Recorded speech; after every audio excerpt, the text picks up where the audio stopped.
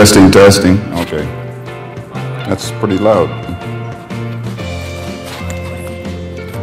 Testing, okay. I'll keep it all the way down here.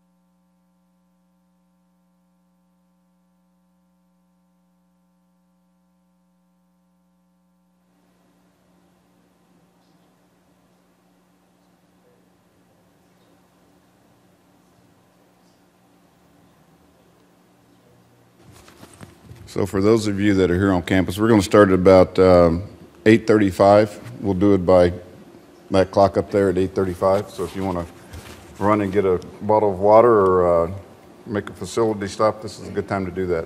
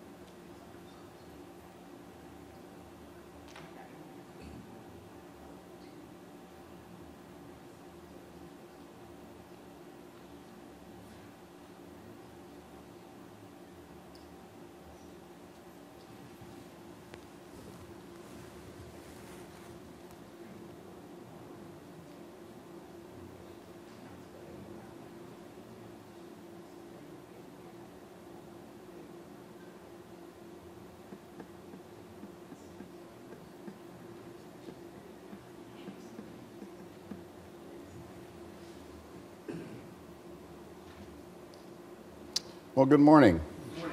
Can everybody hear me good? Can you hear me back here? Can you hear me back over on that side? Okay. So, uh, my name is Tony Deadman. I'm going to be here with you for most of the day. We're going to try to be done today by about 2:30. So, just understand that we're going to be here for a little bit of time. And over the course of that time, there's some administrative things we probably need to get out of the way. There are people that are going to be uh, virtually attending this class. And so one of the things I'd like you to do is if you want to address the group or ask me a question, that we're going to have a microphone back there and a couple microphones up here. So if you can go to a microphone so that the folks on the phone or online can uh, actually hear what your question is as well. I, I may repeat it, but sometimes I forget. so let's just make sure that we do that. Um, the other thing is, is that we're going to take a break at lunchtime at about 11:45 until 1 o'clock.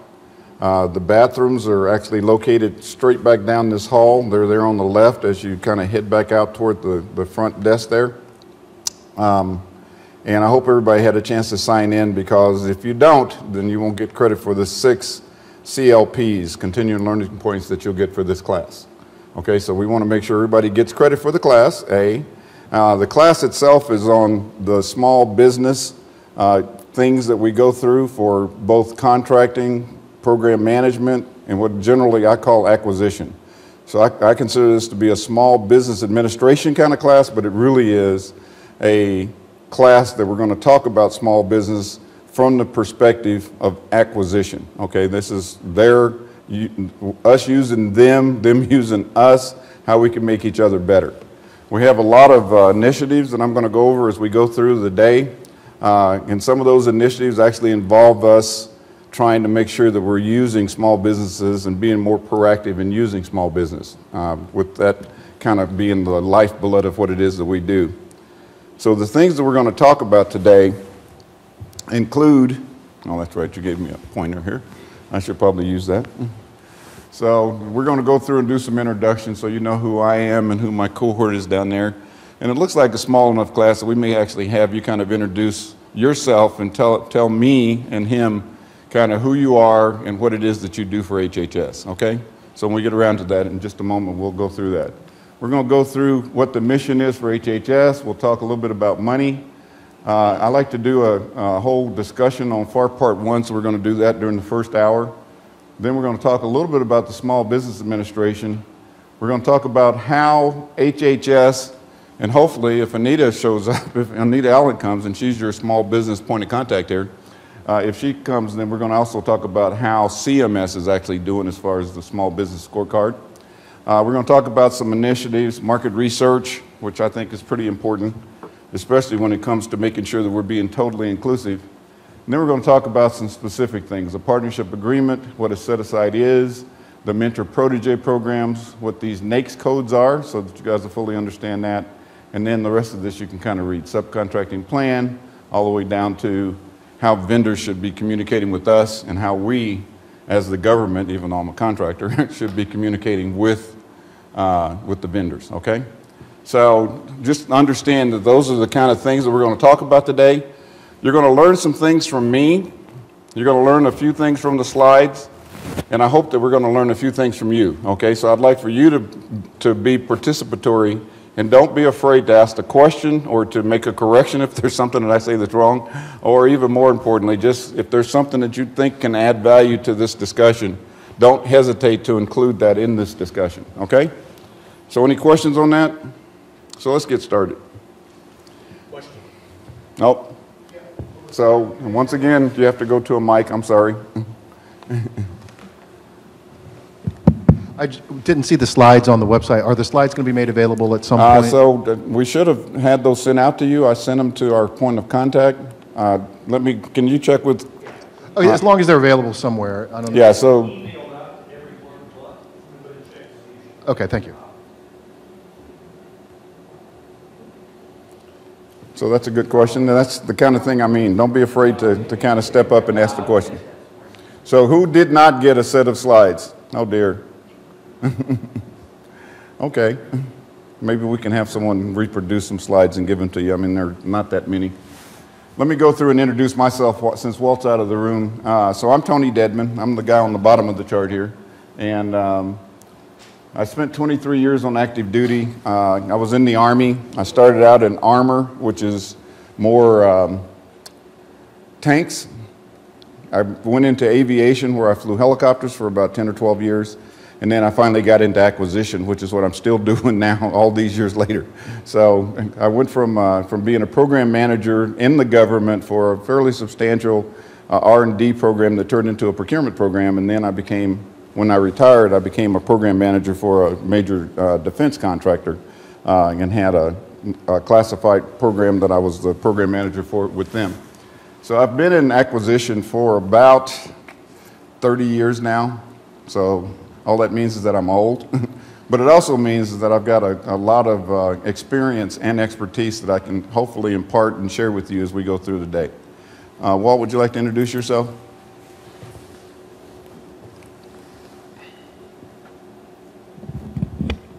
We are getting a half a dozen slides made up, so if somebody else needs a Yeah, there were- how many hands? laptop copy. Ask them to raise their hands again. So we need one, two, three, four, five, six, seven, eight, nine, ten, eleven. 10, 11. Why don't you just ask her to make 20 copies? All right, let me see if she shot off yet. All right. So I'll talk as I go out there and introduce myself. No, please don't. Have this disembodied This is, voice. doc- yeah, this is Dr. Walt Laney, but I go by Walt because I had a, a dad who was an electrician. He said, Walt, you get a big head, pour a glass of water, stick your finger in it, and look at the impression you just left behind. So he's a good man. So I don't let my head get too swelled. It's Walt. Um, I have 40 years but uh, I'm in a contracting officer mode. So I'm that contingent of 1102s that works with the PMs, program managers, project officers, the cores, and trying to get what you need. Not what you want, but what you need, and help define that for you and so forth. So I started under the Armed Services Procurement Regulation with the Navy. Most of my contracting background has been with DOD, though I did spend a year at Treasury as a procurement analyst and a year at Coast Guard as a procurement analyst. And then I headed up Mid-Atlantic Region Resource Manager of Defense Contract Audit Agency. So I stepped out of 1102, went into 341, and managed the Mid-Atlantic region. I am a 32-plus year veteran of the United States Navy. I retired as a commander, and I was an 1102, only they called them 1480, Naval Officer Billet codes, like MOSs would be in the enlisted rank. So whether I was in a uniform in Iraq or whether I was out of a uniform in the States, I pretty much did 1102 work. In my other life, I have done PM work as a project officer for a Title II grant at Rowan University, which is in the town where I live in beautiful downtown Glassboro, New Jersey. So I graduated from Glassboro State, went to Central Michigan, and got my PhD out of Walden after Temple let me go three quarters of the way through and dropped the program. Isn't that lovely? But I did teach at Temple in their master's program, and contracting was one of the tracks that you could take in a master's of public administration. And I taught at Penn State Smeal Business School, taught acquisition and contracting and contract management. I'm DAWIA Level 3, and I also have one of those CPCM, Certified Professional Contract Manager out of the National Contract Management Association. So I have a lovely wife of 46 years and eight grandkids. I had two. Those two had eight. There's something about multiplying there. You want to give it to this gentleman in the front row so that we can just have you kind of tell me who you are and what it is that you do for uh, either CMS or HHS. I don't know if I should stand. My name is Adam O'Best. I work at the Center, Center for Medicare and Medicaid Innovation, or CMS Innovation Center. I'm a management analyst. I've been there five years. Uh, I'm, I'm a veteran as well. I just had Army drill this past weekend. All right. 19 years of service. So, Thank you for your service. So my hair's all, hair's all short. So thank you, gentlemen, for your uh, service. I'm, I'd rather just talk about that all day. I'm just going to thank you. Really appreciate it. Um, so I am a core contract officer representative, of course. Um, I do actually st- stakeholder engagement work, but um, because I hear of all the amazing organizations out there doing great work in healthcare reform, I am very interested in the small business perspective, and like I said, it, most Okay. people that come to us are small business. So thank you so much. Sounds good. Hi, I'm Kim Lair. I work in the Office Communications here at CMS. I'm in the Division of Training, where um, we train others about the Medicare and Medicaid programs. And in that division, I'm a core managing a, a contract that's going to build training and training management systems for us. Good. Hi, good morning. I'm Edith Alaguera. Could you speak I- up just a little bit? I work at the Center for Program Integrity. Uh, I support the fraud prevention program. Thank you. Good morning. My name's Mary Ann Brewer, and I'm in the Division of Payment Validation. And this is my last class toward a Core 3. Been a Okay. Core for years, but um, there's always room for a lot more knowledge. Thank Hey, you. when- you have to have 40 hours every two years, so you'll, this may be your last class before you get it, but then to maintain it, you, you need those again. Good morning. My name is Sophia Autry. I work in the clinical standards um, group, and I um, work with uh, QIN QIOs, which is the Quality Improvement Organizations, and also the ESRD networks. Okay. Good morning. My name is Michael Crow. I'm a former 1102 for five years and have been a 2210 procurement analyst in the Office of Information Technology for the last couple of years. Good stuff. Hi, I'm Chuck Littleton. Um, I'm an 1102, and I'm a contracting officer.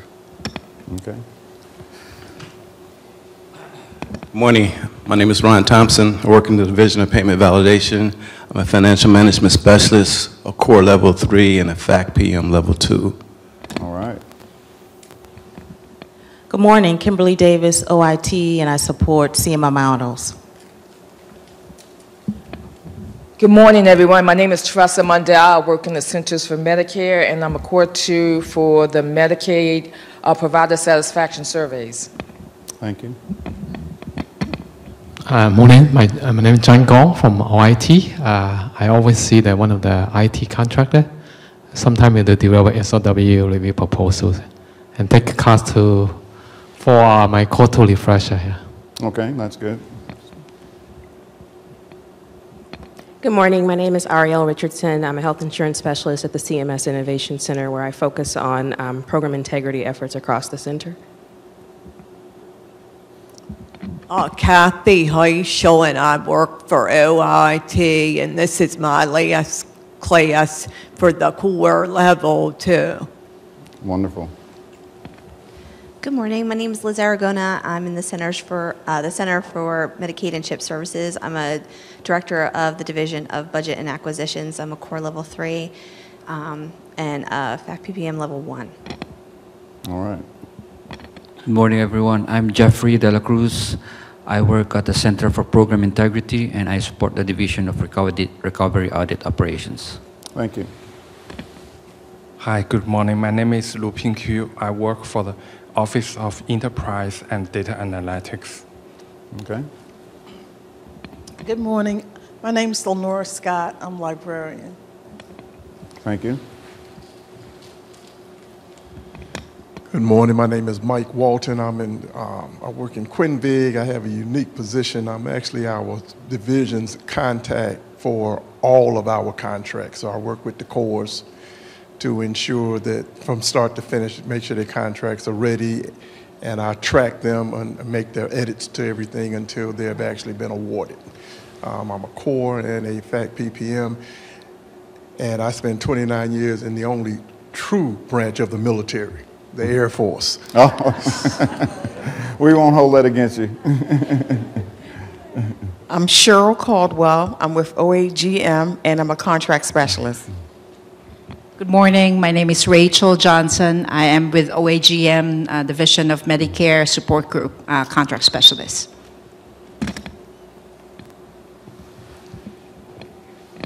Good morning. My name is Jessica Jaworski, and I work in the Office of Communications, and I oversee um, the contract that does all our surveys on our websites. Thank you. Hi, Tim Hugerwerf. I work uh, in CM uh, on a da- database health management system, and uh, this is I'm working on my Core 3 recertification. Okay. Anita? Hi, I'm Anita Allen. I'm the small business specialist that supports CMS. And you can just leave it right there if you, want, or you can hold it there if you want to, because you may want to contribute as we go through some of this. So thank you, everyone. As you can see, we've got a really, really nice cross-section of folks here. And one of the things that I think is important as we go through the day is to recognize, like I said, is that you're going to learn some things from me. You're going to learn some things from the materials that we're presenting. But with the talent that we have in here, I hope that we can learn a few things from you guys as well. And so don't be afraid to contribute. I like to start every one of these conversations off with a conversation about the mission for health and human services. And the reason I like to do that is, is because everything that you buy, uh, we're in the business of spending, and a lot of you are cores and contracting officers and PM and financial managers, as you heard. We're in the business of actually trying to make sure that we're being good stewards of the government's money. The government's money also being our money since we're taxpayers, right? And so it's really important to understand that for us to do that, we have to really focus on how are the dollars that we're spending moving us closer to achieving the mission that we show up here, okay? Did you have a question back there, sir? Okay.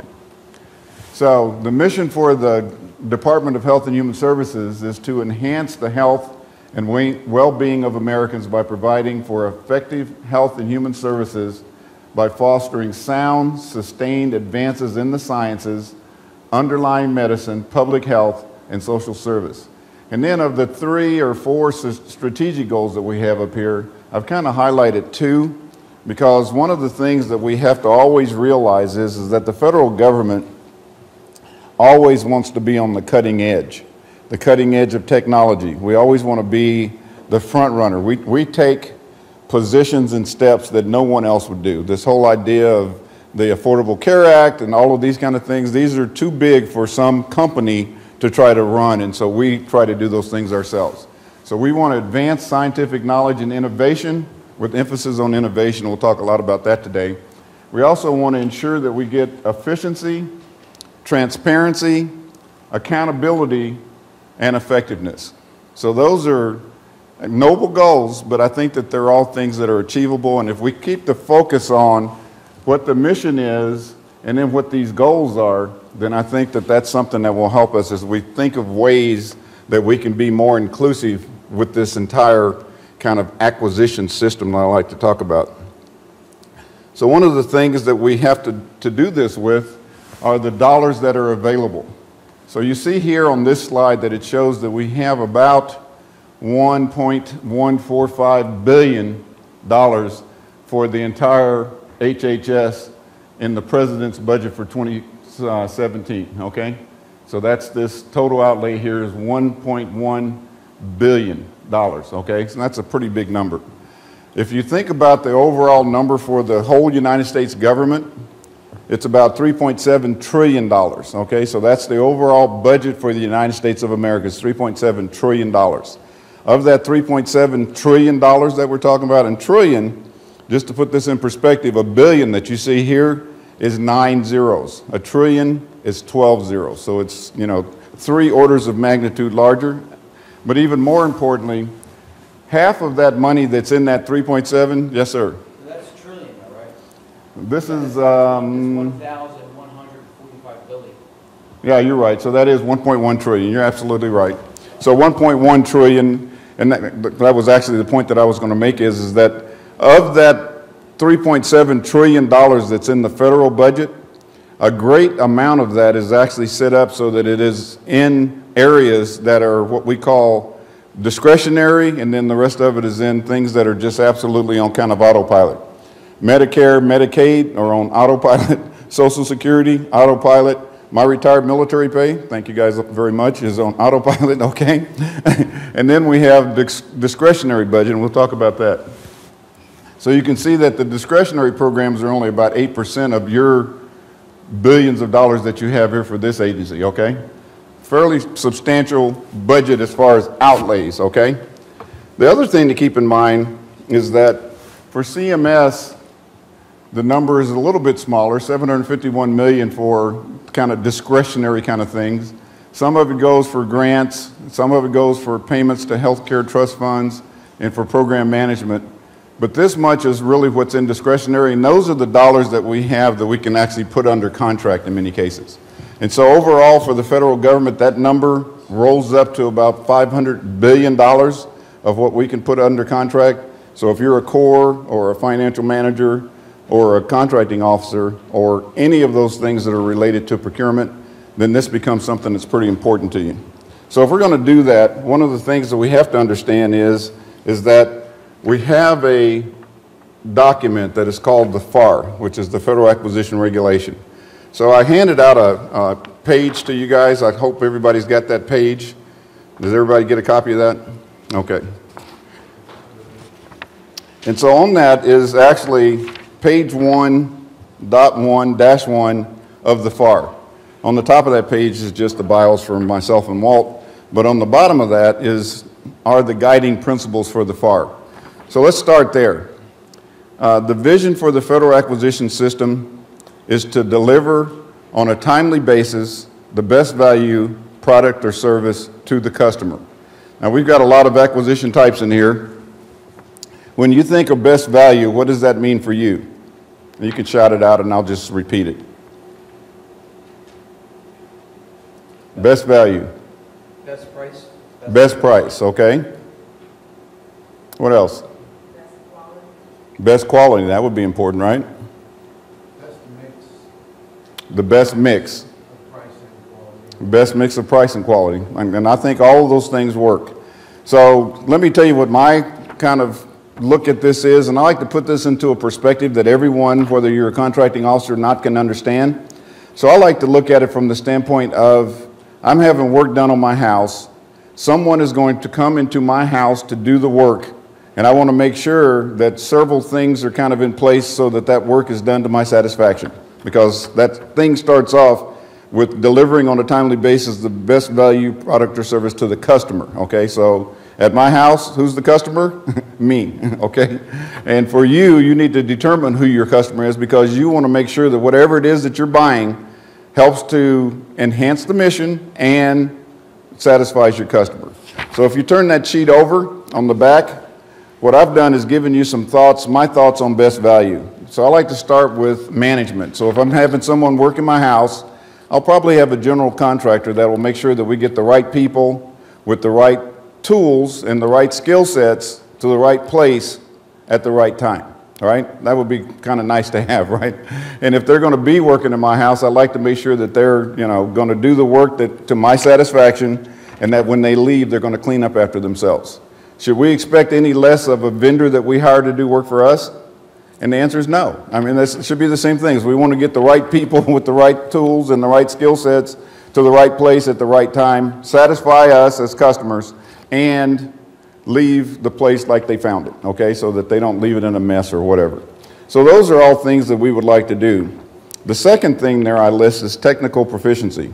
Once again, going back to my home example, if I'm going to bring in a plumber or a carpenter or a baker or uh, anything, I want to make sure that they either have a skill set that's at least as good as mine, right? Or if not as good as mine, I'm not going to hire them first, but the other thing is it should be at least as good as I am, and they should add an extra set of hands to me, okay? When we hire vendors, we want to make sure that those vendors actually bring added value to the equation, and that's what we're looking for, okay? So that's technical proficiency, and we want to make sure that when we have vendors that show up to do work for us, that they are technically proficient. Uh, the third one here is, how many times do you think you've hired someone and this is the first time they've ever done something? And the answer is probably not as often as you would think because we tend to do things in the civilian world where we check things like Angie's List and, you know, um, if we're going to a restaurant, we'll go on to Yelp or whatever. So we use tools that allow us to try to determine if someone has adequate past performance, okay? So when we look at this tool, we have a tool that's called CPARS. You guys may have heard of that. It's the Contractor Performance Assessment Report. For those of you that are CORs, you do this. At the end of a contract, at the end of a period of performance, you do a contractor performance assessment report where you mark them down as either being good, bad, or ugly. in several different areas, including management and technical and cost and schedule and a bunch of other things. The bottom line is, is when you give them that report card, that report card goes into a system that's called PPIRS, the Past Performance Information Retrieval System. And when it goes into that system, that gives us a three-year look at their past performance. So if that performance is good, we see it for three years. If that performance is bad, we see it for three years. The reason I like to look at past performance is it tells me, A, that they've done it before, that they should be able to do it again. Not a guarantee, but at least that gives me more confidence and it reduces my risk of failure by thinking that they can do this. But the other thing is, is by looking at it, I can tell if they had bad performance, do I want to use them again? Probably not. If they had good performance, would I love to use them again? And that's probably so. So one of the things that we do with past performance is, is we use that as an additional kind of screening tool to make sure that we're getting what it is that, we're, that was advertised and that we're paying for. One of the other things that comes with that, though, is the resumes. So resumes, I worked in the Pentagon for a number of years, and I would get vendors that would come in and sell me on some service or product, and I would think to myself, I'm going to buy that because they have presented such a good argument, and they are so smart, and they are really, really capable. I'm going to do this. And then when I would buy it, the people that would show up to deliver the service to me weren't the same people. They were people that didn't have the experience or didn't have the expertise or didn't have the education. Usually they had the education, but they didn't have the experience. If the person that was talking to me had 12 years, this person would come in and they would have one or three or whatever. And so the way that we can avoid that is, is by designating someone as key personnel in our contract, and that way, if they decide to not give us the people that we thought we were getting, they have to give us someone, and we get the right of first refusal, by the way, they have to give us someone that has similar education, experience, and, edu- and uh, expertise. Okay? Everybody kind of understand that? So that's, that's kind of important as well. And then finally, after I've looked at the management and the technical proficiency and the past performance and the resumes, I'm ready now to look at cost. Now, I know someone over here said we want to get the best cost, right? And so it's like you can't, you don't know if you have the best cost unless you're looking at some of these other things, okay? Now, I know that you can say it's the lowest price. So we do have a thing that we call lowest price technically acceptable. Who's heard of that? So lowest price technically acceptable, if you just take your little pencils right now and put a check mark next to cost price and put a check mark next to technical proficiency, those are the two areas that you're looking at, and you're not looking at management, and you're not looking at resumes, and you're not looking at past performance. You're only looking at technical acceptability, okay? So let's talk about technical acceptability for just one second. That doesn't say that it's technically wonderful. it doesn't say that it's technically exceptional. What does it say? That it's technically acceptable, okay? So we get to draw that bar, and we can draw that bar higher or lower, kind of depending on who we are. But the bottom line is, is that if you went and checked to see what the lowest price was and reviewed their technical approach and it was acceptable, you've almost made your decision at that point without reviewing anything else. Now, I recognize we need to review the other proposals. We can't just look at one. But you get the idea. We could do it that quickly, and that's what we would be stuck with if we use that end of the best value continuum to make our decision. And so we have this other end with all of these things that I just talked about, which is one end of the continuum, and we have LPTA, which is at the other end of that continuum, and then everything else kind of falls in between those two. Questions on that? Okay. So let's go back over to the front side of our sheet here. Uh, so as we were reading, it says, while maintaining the public's trust and fulfilling public policy objectives. So once again, since this is an actual class that we're supposed to be interactive, what would you consider for the federal acquisition system to be public policy objectives? Once again, if you tell me, I'll repeat it, okay? What would you consider to be public policy objectives of the federal acquisition system? Remember, I tell you, it's 500 billion that we're going to be putting out in contracts every year. Yes, sir. Yeah, uh, well, just like you said at the beginning, uh, proper stewardship and uh, you're spending taxpayers. All right, so proper stewardship of, of taxpayers' dollars, and that's absolutely important. Transparency. Transparency is very important as well. Anything else? So let me go through a few. Once again, if you turn your pages over. The first one that I have listed there is um, trying to be inclusive. So in order to be inclusive, one of the things we want to do is we want to take people that have been marginalized and not part of this system and see if we can bring them into this system, okay? So we'll start with uh, a couple, two or three things here that you have on the notes here, and if you want to add some to this, you're more than welcome to. But the first one there is the National Institute of the Blind and the National Institute of the Severely Handicapped. So those are known as NISH and um, NIB. And so both of those have a, a organization that's called Ability One. You've probably heard of Ability One. And FAR Part 8 actually has this as one of our recommended sources for a lot of things that we buy. And the nice thing about this is, is by using Ability One, you're actually helping people that are blind or severely handicapped. But more importantly, if they have jobs and they're able to contribute to society and they're paying taxes and they own houses, they're in better position to feel better about themselves and less in a position that they're feeling sorry for themselves or dependent on the rest of society to take care of them. They're actually taking care of themselves. So that's why, from a public policy perspective, we encourage you to use things like UNICOR, okay? The second one here, I'm sorry, like Ability One. So the second one is, in fact, UNICOR. So this is part of the federal prison industries. These are people, excuse me, that are incarcerated. And they're being taught a skill, and by being taught this skill, they're actually making products or providing services. And if, if they're incarcerated and they're learning this skill, theoretically, this is the public policy side of this, when they leave prison, instead of going back to their original skill set that they had that got them incarcerated, this will give them a chance to use their new skill set to have a job and to, you know, buy a house and to become a productive citizen and all those kind of things, okay? So one of the things we want to do is cut down on recidivism. So that is the actual public policy that we're trying to do with this is we're trying to make sure that we're taking advantage of that. So they have this organization, it's called UNICOR, that they market their products through. And so when you see that, be sure and try to use that when you can. The other public policy objective that we have overall, and this is something that you'll see kind of throughout the FAR, is that we want to have competition. Competition actually does two things.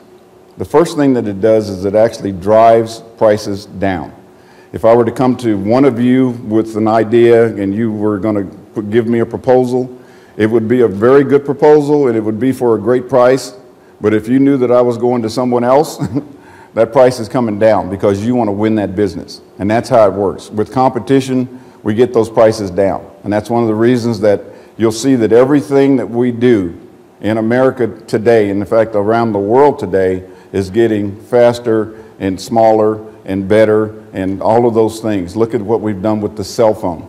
How many people think that the iPhone would be on version whatever they're on, 10 or X or whatever they call it now, right? They would be on version 2 probably by now. If you recall back to the days when we had those uh, big black phones on our desk, you remember those days? Uh, you guys are way too young for that, but back in the old days, we used to have a phone on our desk that was plugged into a, a, cable on the ground there, and you could only go as far as that cable would allow you to go. And when you left that and got in your car, you had no means of communication whatsoever. And when you got to where you were going, you then had to find another phone that was plugged into the ground. Fast forward now 25 years or whatever it's been, and I can promise you that when you look at the technology for these little cell phones that you can fit into your pocket, and soon they're going to probably make them so they're like credit card size and be more capable than what we have now because they continue to get smaller, although I've seen some of these kids that have some pretty big cell phones, and apparently that's the new trend since they use it for their television and movie screen and everything else, right? But the bottom line is, is competition actually drives all of that. So the other thing, and this is something that we want to talk about for the people that are blind, for the people that are disabled, for the people that come out of prison, uh, and even for the next categories that we're talking about, people that are in these categories tend to be totally inclusive of the other people that are in their category. When they're out looking for people to hire, you'll find that they hire, if prisoners, they hire other prisoners because they're comfortable hiring other people that have been incarcerated. Blind people tend to hire other people that are disabled or blind, okay? And it's just the nature of the business. So as we go through this next piece here, uh, I want you to keep that in mind. So the first category I'm going to talk about is woman-owned businesses, okay? Women make up about 53% of the population because you tend to live longer than we do. but more importantly, you only make up something less than 5% of companies that are owned by women that do business with the federal government, okay? And we're going to look at some numbers here in a minute and you'll see what I'm talking about, but you know, we could do a whole lot better than that, okay? And the biggest thing is that if a woman decides that she's going to start a business, then we try to give her and her company a little bit of an advantage. We'll either set aside work for her and her company, excuse me, or we will make it so that a large business will set aside a portion of whatever we give them for her business, okay? And so what we're trying to do is give them a running start so that for the first six or seven years that they're in business, we give them an increased probability of success, okay? That's really what the goal is. And by doing that, we're hoping to bring that 5% number up to 10. You know, let's start small. I'd like to bring it to 53%, but let's get to 10 first and then we can rejoice. And when we get to 20, we can have a big party and you get the idea. But let's get it to, you know, let's get the five locked in and then let's get to 10. And so in some cases, we don't make those goals. Here we do happen to be making it, it appears, but we'll get to that slide in a moment. The second category under this small business, though, is, is minority-owned business. You've heard of that called 8A. And what that is are African American, Aleutian American, Hispanic American, a bunch of other hyphenated Americans that fit into the category of minority owned businesses. And by doing that, once again, we're going to give them this head start. We're going to help them. We're going to give them as many advantages as we can so that they can be successful. Uh, a lot of businesses, as you may recall, or if you actually pay attention, you will see that a lot of businesses don't actually last for more than two years and they go out of business. Three years, they're out of business. How many times have you gone to a really, really nice restaurant and you had to wait in line or they tell you, sir, there's an hour and a half waiting list, you know, and you get there and you go, wow, this place is banging. This is really good food. It's really popular. Everything is great. And then you go back with your friends the next time and it's closed. And you go, what the heck happened? And so what happened is, is that they didn't know how to run a business. And so one of the things that we do with all of these small businesses is, is we try to help them to be successful. We try to increase their probability of success. And we'll talk about some of those things as we go along here today, where we try to link them up with a large business. We put them into a mentor protege program. We give them a lot of skill sets that hopefully will make it so that they're able to compete and then when they graduate from this program, then they'll be able to stand on their own two legs and be able to compete against anybody because they've got that background and experience and expertise behind them, okay? And so that's what we're trying to do when we look at these small businesses. The third category of small business is veteran-owned small business.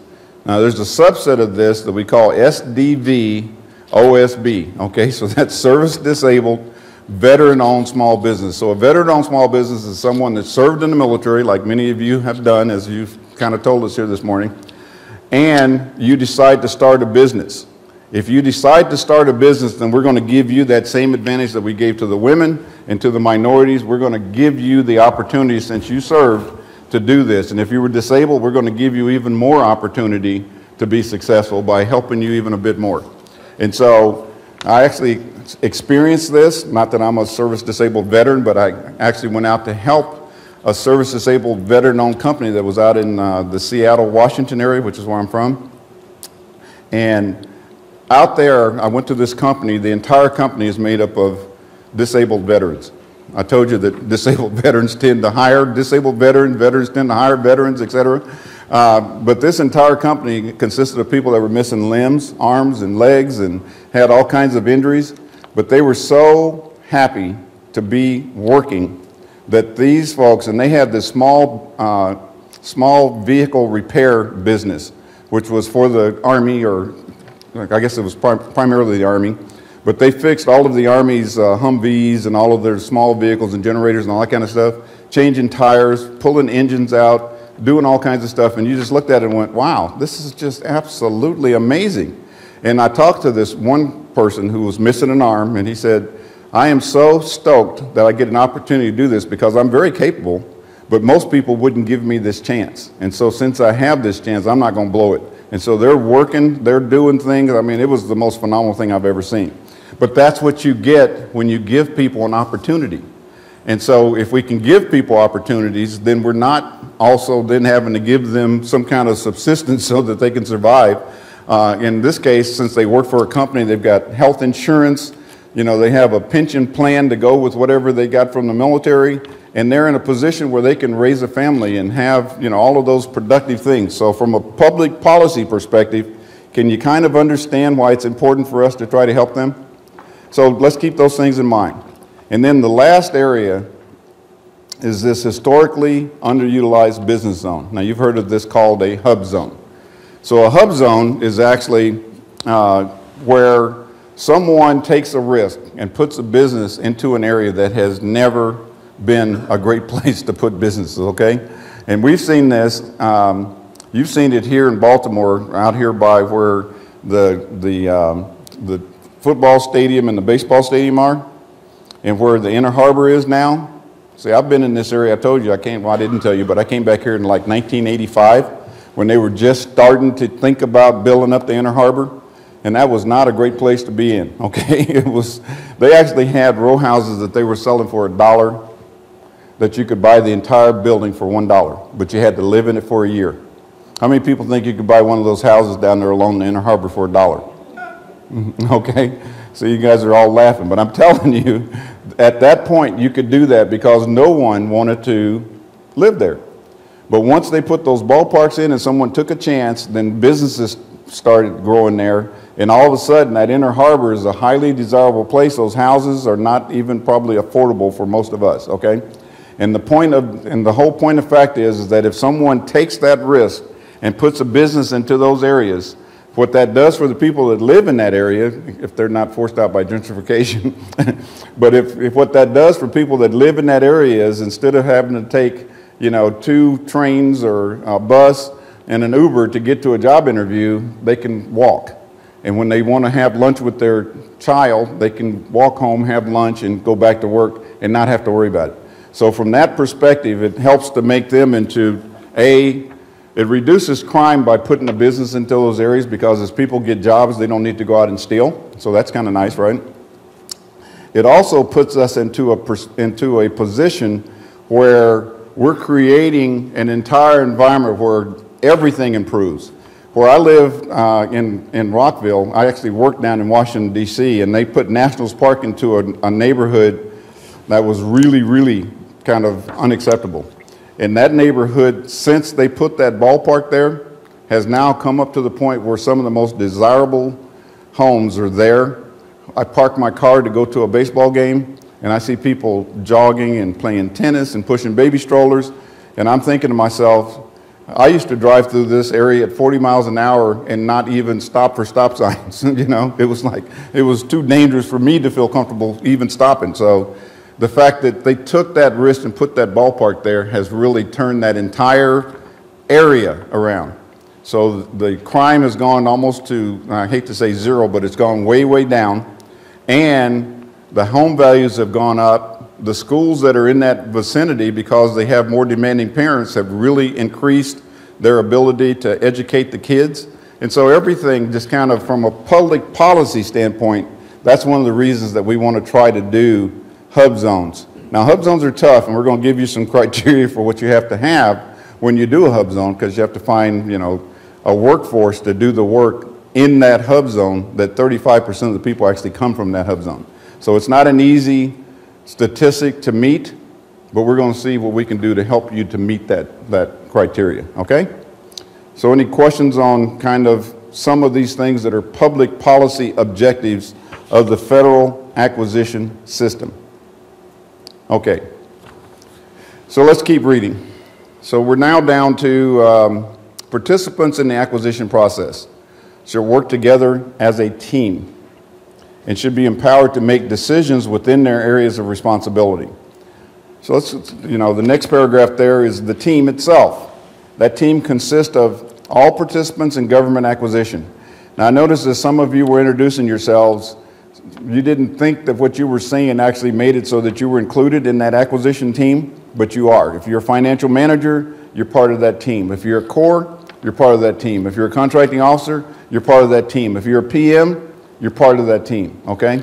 So that team consists of all participants in government acquisition, including representatives of the technical, we've talked about the technical, supply, that's logistics, procurement, that's everyone that I just listed. You're all part of that procurement community. You're the ones that are actually spending the money.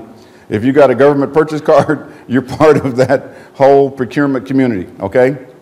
But also the customers they serve. Remember when I had that contractor come in and do work on my house? and I wanted them to make sure that they did the work to my satisfaction. The reason that I say that is because I'm the customer. I want them to satisfy me. Your customer wants you to satisfy him or her or them or whoever, okay? And so that becomes something that's really, really important. Yes, ma'am.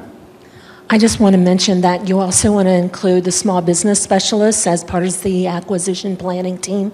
Um, if you include me early, it helps from me slowing down a procurement later on when I don't necessarily like the direction you may be going as far as whether you're setting it aside or not. So it's always best to include me early in the planning. That's a very good point.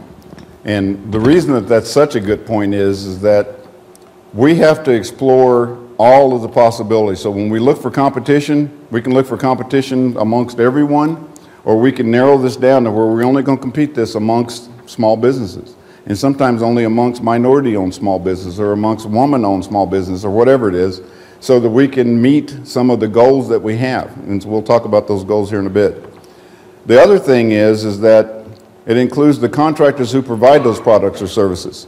The reason that we do that is not because I'm a contractor, which I am, and I saw that we may have one other contractor here, so I'm happy to be also have another contractor in the room. But more importantly, the reason we have to include contractors is because you guys that are federal employees are heads down working on all the things that are important to you. And you are working at lunch and you're working when you get home and you work sometimes on, you're working on your way to work, okay, with cell phones and all those kind of things. You are heads down working. What you don't know is, is that those vendors that are out there, they're also heads down, but they're heads down trying to be competitive because they're looking for a, a competitive advantage they're looking for things that they can turn into intellectual property. They're looking for things they can turn into patents. They're looking for anything that's going to allow them to last for more than that first two or three years. So when you see companies that have been around for 10 years and 15 and 30 and whatever years, they have continued to kind of reinvent themselves. Look at Apple. Apple started out in one direction. They've kind of stayed in that direction, but they have continued to reinvent themselves as they come along, okay? And that's what's important. But would they even be close to where they are now if we didn't have Samsung? That's that competition that forces the prices and the innovation that we talked about, okay? So any questions on kind of the guiding principles of the federal acquisition system? So we have one more thing I want to talk about with this is, and that is the role of each member of this team. So you'll notice that I have two words there, actually six words or so, but let's go through them. Exercise personal initiative. What that means is, is that part of this federal acquisition system is, is that we encourage you to not wait for someone to tell you what to do. Remember when we talked about those vendors having experience and education and expertise? Well, I have good news for you. All of you have all of those things too. So we want you to use that experience and education and expertise to come up with using your personal initiative and your sound business judgment within your area of expertise, okay? And that's what's important to us as far as the guiding principles of this federal acquisition system, okay? So I promised you a break about every hour. It's about 9.24 now. We pretend it's 9.25. We're going to take a break until 9.35 and come back in ready to start again. It's very important for you to be back here on time, ready to start again at 9.35. Buy that clock in the back of the room.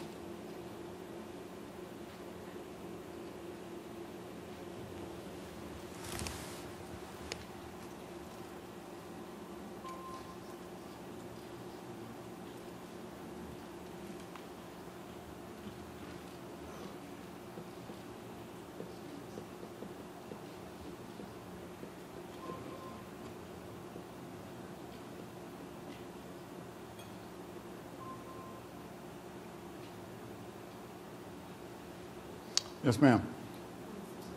Hmm?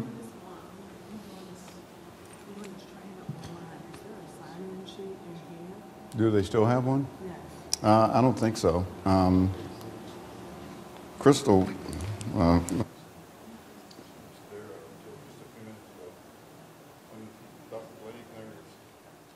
Just tell them to add your name to the list that you got in here before the end of the first break, which is good, okay? One minute later, and I, I couldn't say yes. Here, and I'll text Crystal and let her know. And give her the handouts too as well, please. Okay, so we're going to go ahead and get started back. Um, When we last spoke, we were talking about FAR Part 1. There was one thing that I didn't actually get to, and that's this part down here that says, "Government members of that team may assume that if a specific strategy, practice, policy, or procedure is in the best interest of the government and is not addressed in the FAR or prohibited by law, blah, blah, blah, that that strategy, practice, policy, or procedure is a permissible exercise of authority. So all that says is, is that back here when we talked about exercise and personal initiative and sound business judgment, that if you do those things and for whatever reason everything doesn't go as well as you thought it was, we're going to give you some latitude to make a mistake. Because when we're trying to be aggressively seeking innovation, then in the process of doing that, if something does hiccup, we don't want that to be the end of you and your career and all those kind of things. So be sure that you know that that's there. A lot of times people don't point that out to you, but what we're seeing there is, is that if you if you use that sound business judgment and exercise that personal initiative, that we're going to give you some benefit of the doubt just in case something does not go as well as it could. Let's talk about uh, the Small Business Administration. So the mission of the SBA is, as you see there, it is to aid, counsel, assist, and protect the interests of small business concerns. They want to preserve free competition and free competitive enterprises, and they want to maintain and strengthen the overall economy of the nation. The thing that I've noticed in my thousand years that I've been here on the planet is that every president always says small business is the backbone of the country. And all you have to do is drive down, you know, Route 40 or Route 1 or any of these different routes in, in, uh, on the East Coast here, and you look at all of those businesses that have five employees, seven employees, the laundromats, the restaurants, the whatever, those are all small businesses, okay? I know we, we kind of focus on the Googles and how much they're making and the Amazons and how much they're making and, you know, Home Depot is taking over all of the local, you know, hardware stores or whatever. But the bottom line is, is that the greatest majority of people in this country actually work for a small business, okay? So when we look at small business, it really is important to keep in mind that we're trying to strengthen the overall economy of the nation by helping as many of those small businesses, especially in those categories that I spoke about before, if we can help them to be successful and to contribute to the government with the four, five hundred billion dollars that we're spending, then let's do that. And that's the reason we talked about those public policy objectives. So this last bullet here kind of addresses what I've said, and you'll just have it there that you can have as a takeaway, is that overall, the U.S. government is the single largest purchaser of goods and services in the world. $500 billion worth of goods and services is a huge, huge number, okay? And with that number, then we've got to try to do some things that can help us to get to some of those uh, public policy objectives that we talked about. Now, I'm not going to spend a lot of time on this slide, primarily from the standpoint that we have a Small Business Administration Office of Government Contracting and Business Development. And what they do is they work with agencies to award their goal, overall goal of that $500 billion. We want to award 23% to small business. Now, we have some goals that we're going to go over for HHS and uh, maybe even for CMS, but the bottom line is, is that when we look at that, we want to look at the goals that they have for small disadvantaged businesses, woman-owned small business, service-disabled veteran-owned small businesses, and small businesses that are in HUBZones, okay? So all those things that I talked about, those are actually goals that we have set aside, not wrong term because that means something, that we have goals that are actually uh, put into agencies that they will try to meet. In addition, they have this business development program. And what that does is it takes these 8A programs specifically in developing and growing their businesses through one-on-one counseling. They have training workshops. They try to match them with a mentor protege. I actually have one of these. I'm, I'm a large business, not me, but my company is a large business, and we work in conjunction with the small business. And that small business is responsible for all of the logistics. They do all of the, uh, when we teach classes, they make the books, they arrange for the classroom, they make sure the students get their certificates and all of those kind of things. And we actually teach the classes.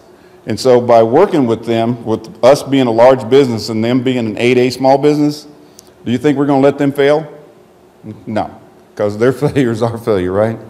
Do you think that this is good for them to have a business that's been in business for a period of time to help them? Yes. Okay, so when we get to the part of this discussion where we talk about mentor protege, even if we don't call it a mentor protege program, it is when we try to do those kind of things, okay?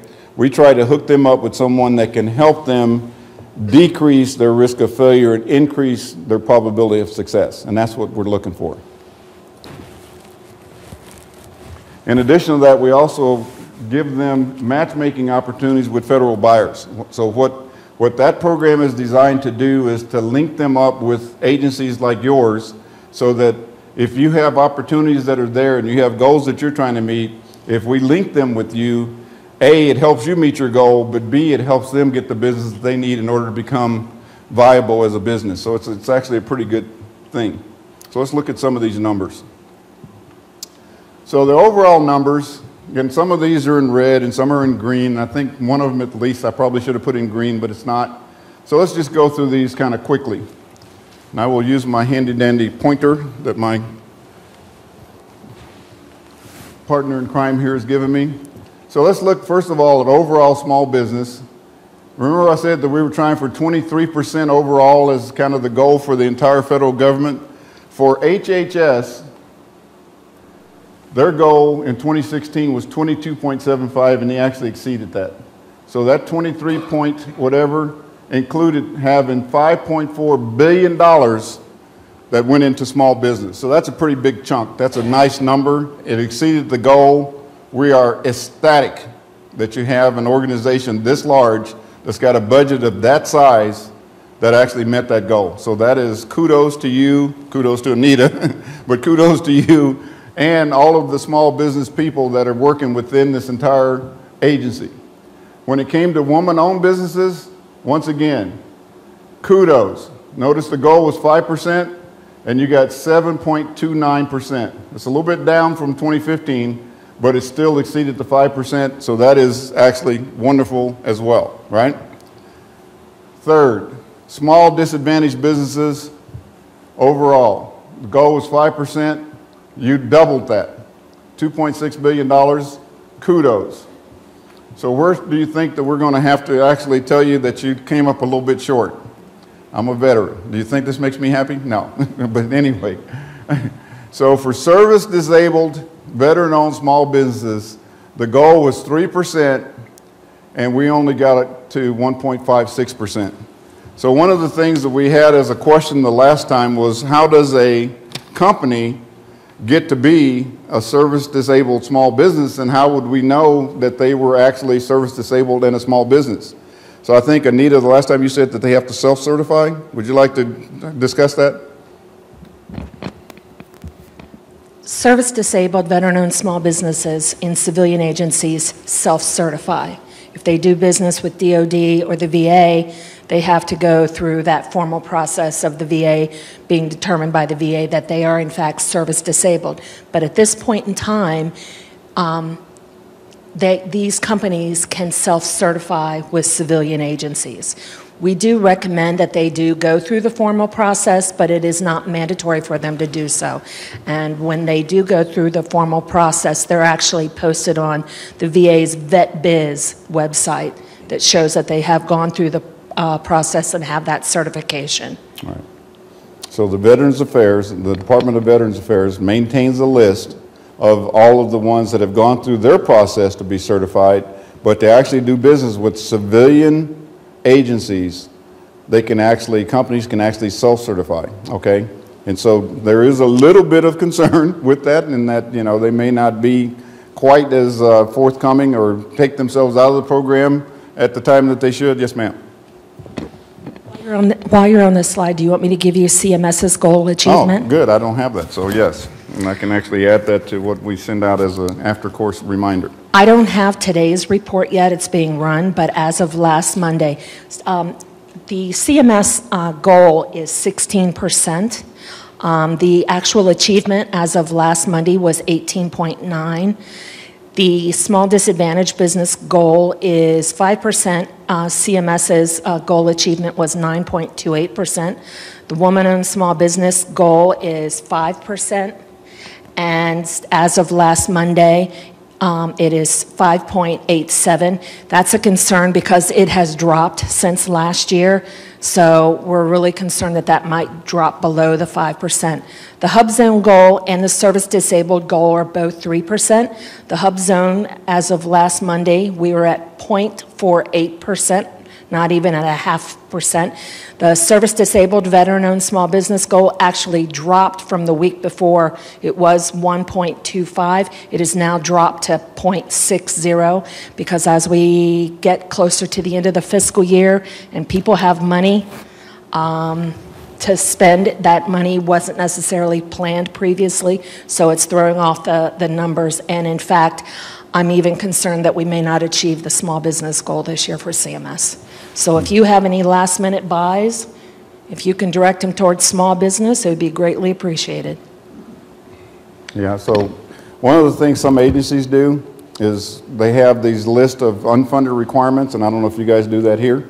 Uh, I'm over in Homeland Security, that's kind of my day job is working over with FEMA. And what they've done is, is they have a list of all of the funded requirements that they had money for and they did. But as you know, by the time you get to June, July, August, and even though we didn't get our money until May, uh, they've identified people that can't get their money under contract by September 30th. And they've identified other people that could, but they're on the unfunded list. And so they're trying to move people from the unfunded list to the funded list and moving people from the funded list that couldn't spend their money to the, to the unfunded, still requirements list. Yes, sir. Can I get you to go to a microphone?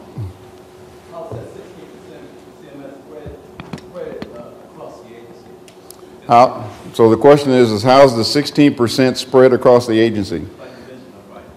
Well, it looks like what, what Anita just said is that the agency goal is 16%, but the small uh, disabled business goal is 5%.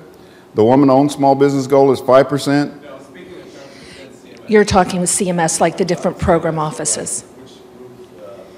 And I don't have that kind of a breakdown. Um, I think the contract shop can run that kind of a breakdown, but I don't have access to that kind of data. CMS may be able to run it through their CAM system. And is there a, a typical type of service by, by the business that uh, garners more small business owners? So the question is, is there a particular type of business that earns more small business kind of work, it sounds like? Is- Was that the question? You mean the Within types of services in the IT arena? That's the hugest. And any kind of consulting services? You have a lot of small businesses that can do that where it, the numbers are offset at CMS is on your um, um, MAC contracts or your UPIC contracts or your um, QIO contracts. That's where there's a lot of money that goes there that offsets it to, and draws down on the small business dollars. That's why it's important to look at the, uh, the areas that small businesses can do, look at breaking procurements apart when they can. In fact, uh, CCSQ, if anybody's in here from CCSQ, um, they have actually taken some of their big IT requirements and split them up. And companies like Northrop Grumman, CSRA, and some others where they thought it was going to go unrestricted, the, these are now going small business. Okay, thank you. Great questions, I like that. Any other questions? Because one of the things that we look at is that these are the goals for when they're prime. We also have goals for when they're actually in a kind of a subcontracting environment. This is where you have a large business that we ask them to set aside a portion of their work for small business so that they can help us meet these goals as well, okay? So we set up goals for that, not me, but your agency set up goals for that.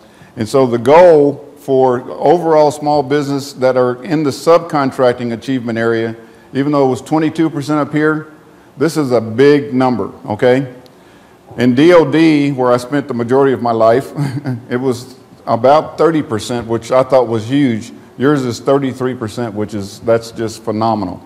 And the good news is, is that you came really, really close to achieving that. And that's the nice thing about setting a high goal, because you see how much higher that number is than this one? So that's a good thing. The second thing is, is for woman-owned small businesses, once again, you're green, which is great. Uh, for small disadvantaged businesses, the goal is 5% and you're at 5.4%.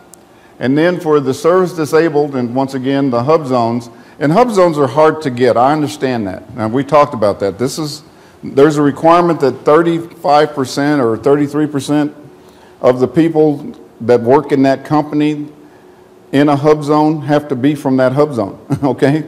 They can get, you know, 65% from somewhere else, but 35% of the folks have to live in that HUBZone.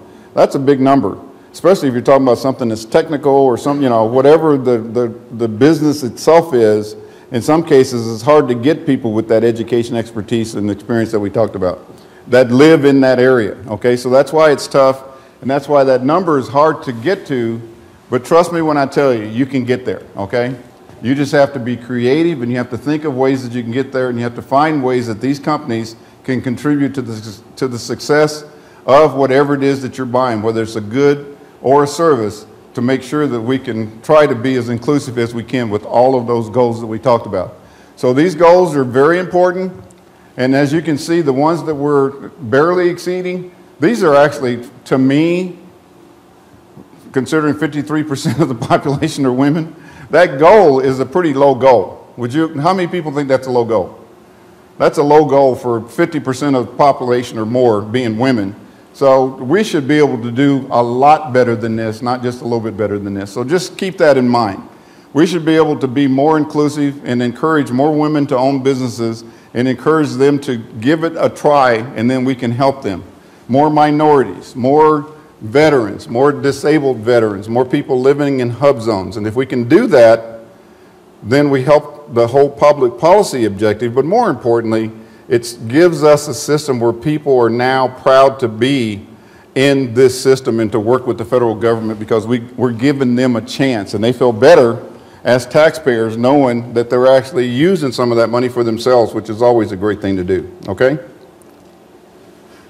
So let's talk about some policies.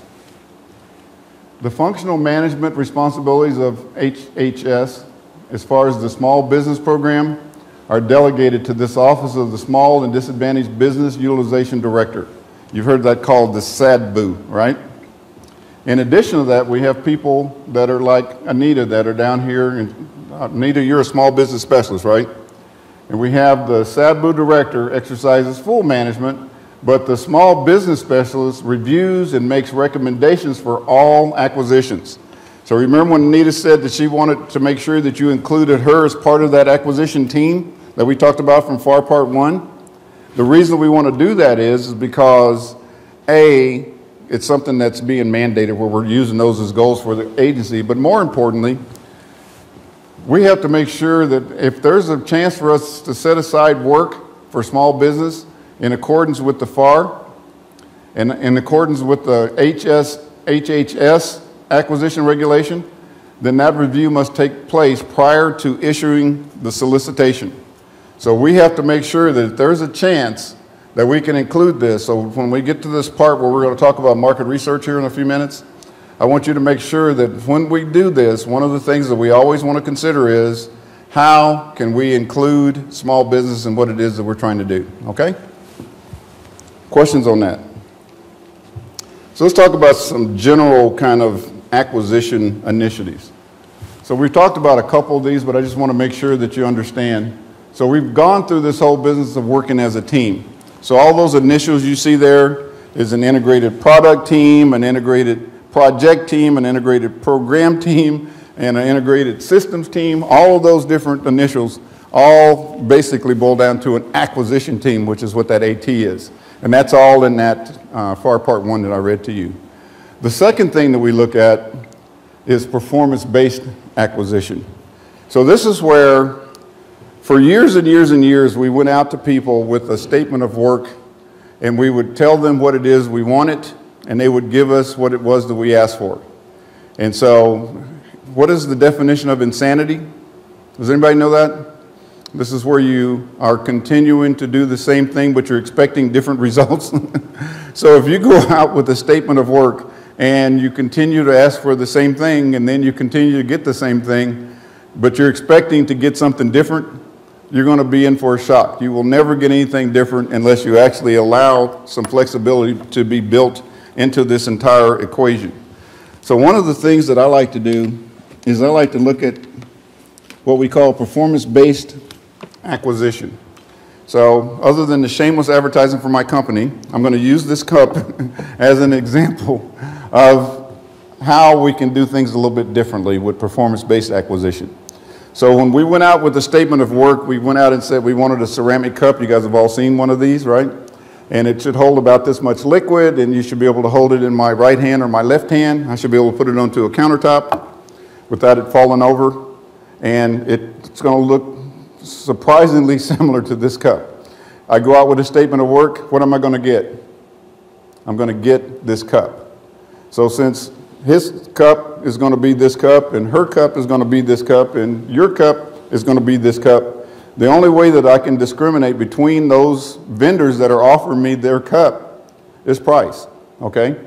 So now, the only, so if, if she comes in at two and he comes in at, at uh, 195 and you come in at 190, 190 wins, ding, ding, ding, I'm buying your cup because your price is cheaper and all of the cups were exactly what I asked for.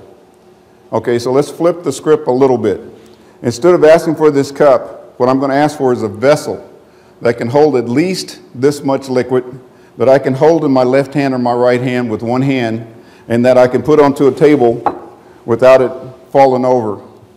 And if that's all the criteria that I give to a vendor, and I send this out in a request for quote or in a request for proposal, the answers that I get can range from, just imagine here, I could get a aluminum cup and that aluminum cup could keep the liquids hot and cold. I could have a cup that's got a cap on it that I can open that cap and drink, and I can close that cap, and it's done. I could get it with a straw in it so that I can slurp from it, or I could push that straw back down inside and it disappears. I could make it so this is made out of plastic so I can run with it. I could make it so that it, you know, you get the idea. What am I getting? Innovation. And if I can get that much innovation with a cup, Imagine the innovation that you can get with what it is that you're buying. And so the reason that I shamelessly use this cup for advertising my company is that if we can get that kind of innovation with a cup, when we go to a performance-based acquisition, what we're going to do is allow the vendors to surprise us, and by allowing them to surprise us, we will now get the innovation and price, differenti price differentiation that we need so that we can actually start getting some movement toward in getting things smaller and better and cheaper and faster and all those things that we look for when we're trying to buy things. We do that in our own lives. How many people bought something because it was slower and more expensive? How many people bought something because it's bigger and more expensive? No, no one, people want things that are smaller and faster and cheaper and better and all of those kind of superlatives, right? So just keep all of those things in mind. So uh, that's the initiative that we call performance-based acquisition. So the second part of that statement there, though, is where we're trying to get our small businesses, and all businesses really, to be paid in 15 days. So the Office of Management and Budget, and for those of you that are CORs, you probably already know this, and if you don't, I'm really, really sad to inform you that you don't have 30 days under the Prompt Payment Act anymore. You still have 30 days, but you only get 15 of them, okay? And you as the COR really only get seven of them. So the plan right now is that we're going to pay for small businesses. This is what OMB came out with in 2012, is they came out with a policy that said all small businesses need to be paid in 15 days or less, okay? And so what they did is they said the COR gets seven days, Finance gets seven days, and on the 15th day, we're going to cut the check. And the reason for that is, is that small businesses complained to the White House and to the Office of Management and Budget that one of the reasons that they were failing is because they had government contracts, but they couldn't actually get paid in a timely fashion, and it was causing them to have cash flow problems that would actually cause their businesses not to be successful, okay? So fast forward about another year, and in 2014, Office of Management and Budget received a bunch of more complaints. What do you think the second set of complaints were? They were small businesses that didn't, I mean, that were under a large business that were not getting paid in 15 days like the small businesses that were primes, right? So those large businesses we had to now start paying them in 15 days. And so in a bunch of agencies, and I don't know what the policy is here within HHS, but in a lot of agencies, what they've said is, is that all invoices should be paid as a goal within 15 days, with seven days for the COR, seven days for the PM, I'm not for the PM, but for the finance, and then on the 15th day, finance would actually write the check, okay? So can anyone tell me if that's the policy here at HHS or not? Are you guys using that? Yes, okay, good. So the next thing down here, and this is about risk. So when we have a fixed price contract, we can use fixed price contracts for a lot of things. If it's something that we've bought and that we feel comfortable and that we think that we have a lot of vendors that feel comfortable using a fixed price contract, then we're going to push for them to use fixed price contracts because the risk for the government on a fixed price contract is almost zero and the risk for the vendor is 100%. And so vendors are going to build risk into their price, right? They're going to make sure that uh, for that price that they have to deliver within this period of time that we get it to them. So they prefer to use fixed price contracts because if they can do this more efficiently or more effectively, then they can actually make a little bit more money. And so we encourage them to use it. They like using it. And it's something that is now one of our policies. So we're going to try to use less cost type contracts because on a cost type contract, the goal of the overall contract, to be perfectly honest, is we're going to pay them and they're going to give us their best effort. Okay? And best effort may not be the final answer. Okay? It may be we continue to spend, they continue to spend, and so at some point we go, okay, no mas or whatever. And in some cases we actually get them to deliver what it is that we want. But the bottom line is, is we're sharing the risk. Because the cost type contract, we're sharing risk, whereas with the fixed price contract, all of the risk is on the vendor. Everybody understand that? Okay. So, especially because of the environment that we're in now, one of the things that we're seeing as a overall kind of federal government initiative is that we're trying to get things under contract sooner. Does anybody, you guys got your money just like the rest of us in May? you know how the fiscal year starts on October 1st? And we get money that's designed to be used, uh, especially O&M kind of money, this operations and maintenance kind of money, which I'm sure you guys probably use here as well. And that is only good for one fiscal year. So when you get that money in May, it's not one fiscal year anymore. It's a May to September year that you have to use that, have that money obligated under contract, right? And so one of the things we're trying to do is see if there's some things that we can do that will help us to get contracts out faster, okay? What we did in the agency that I support is we actually worked these contracts based on the president's budget submission all the way up to the point that all we would have had to do was sign it, and unless something changed drastically when the actual budget came out, then we would, when the budget came out, we were in position as soon as we got our allocation, we could sign it and it'd be out the door. So we did that and it worked this year. So the goal was is whenever we got our money, we were going to be prepared to have our contracts out by June 30th, okay? So guess what they did for us this year because they're so kind? They gave us the money in May. and now we had less than 60 days to get the contracts out. But because we were prepared, I would say we probably got about 95 or 96% of those contracts out in that period of time. Because one of the things that we're concerned about where I am is, is that if we don't get those, get those dollars awarded, then someone is going to come back and maybe try to sweep those dollars and use them for some of those unfunded requirements that we talked about because they can't wait until September to find out that they're not going to spend something, right? They have to start identifying that sooner when we're working on a shorter uh, life cycle for these funds, okay? So two-year money turns out to be 18-month money. You get it in three-year money turns out to be two and a half year money when you get it six months into the year or later.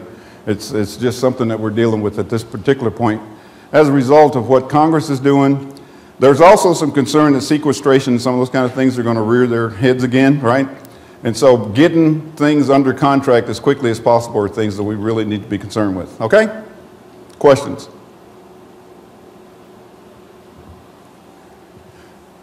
So we need to be sure that we have better oversight and we need to look at contract incentives. And I know a lot of people don't feel comfortable with incentives for contracts, but um, it is something that we have to be concerned about because we want to incentivize that which is important to us, okay?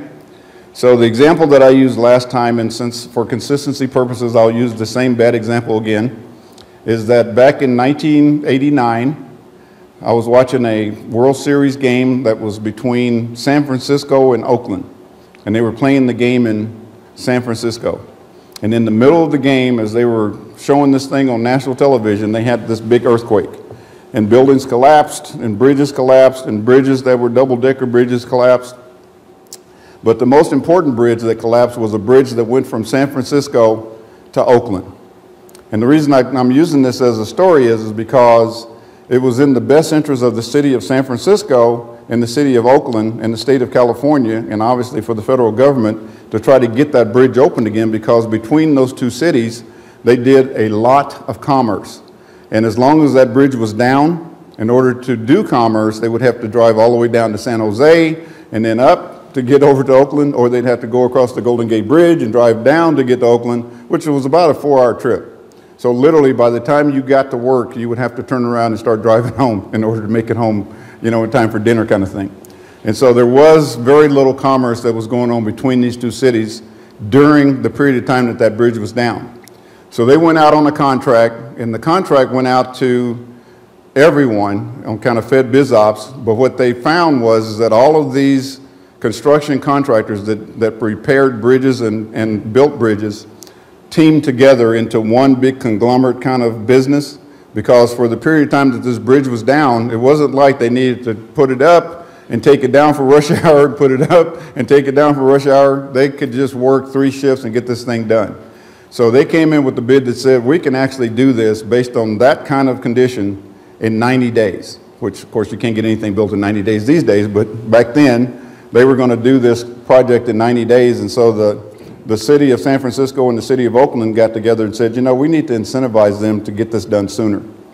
And so what they came up with is for every day that they got this project done in less than 90 days, they would get $1 million that would go straight to the bottom lines of all those companies that were involved in this procurement, so, which is a pretty good deal, okay? And for those of you that are not in business like I am, a million dollars can go a long way towards solving a lot of bills, okay?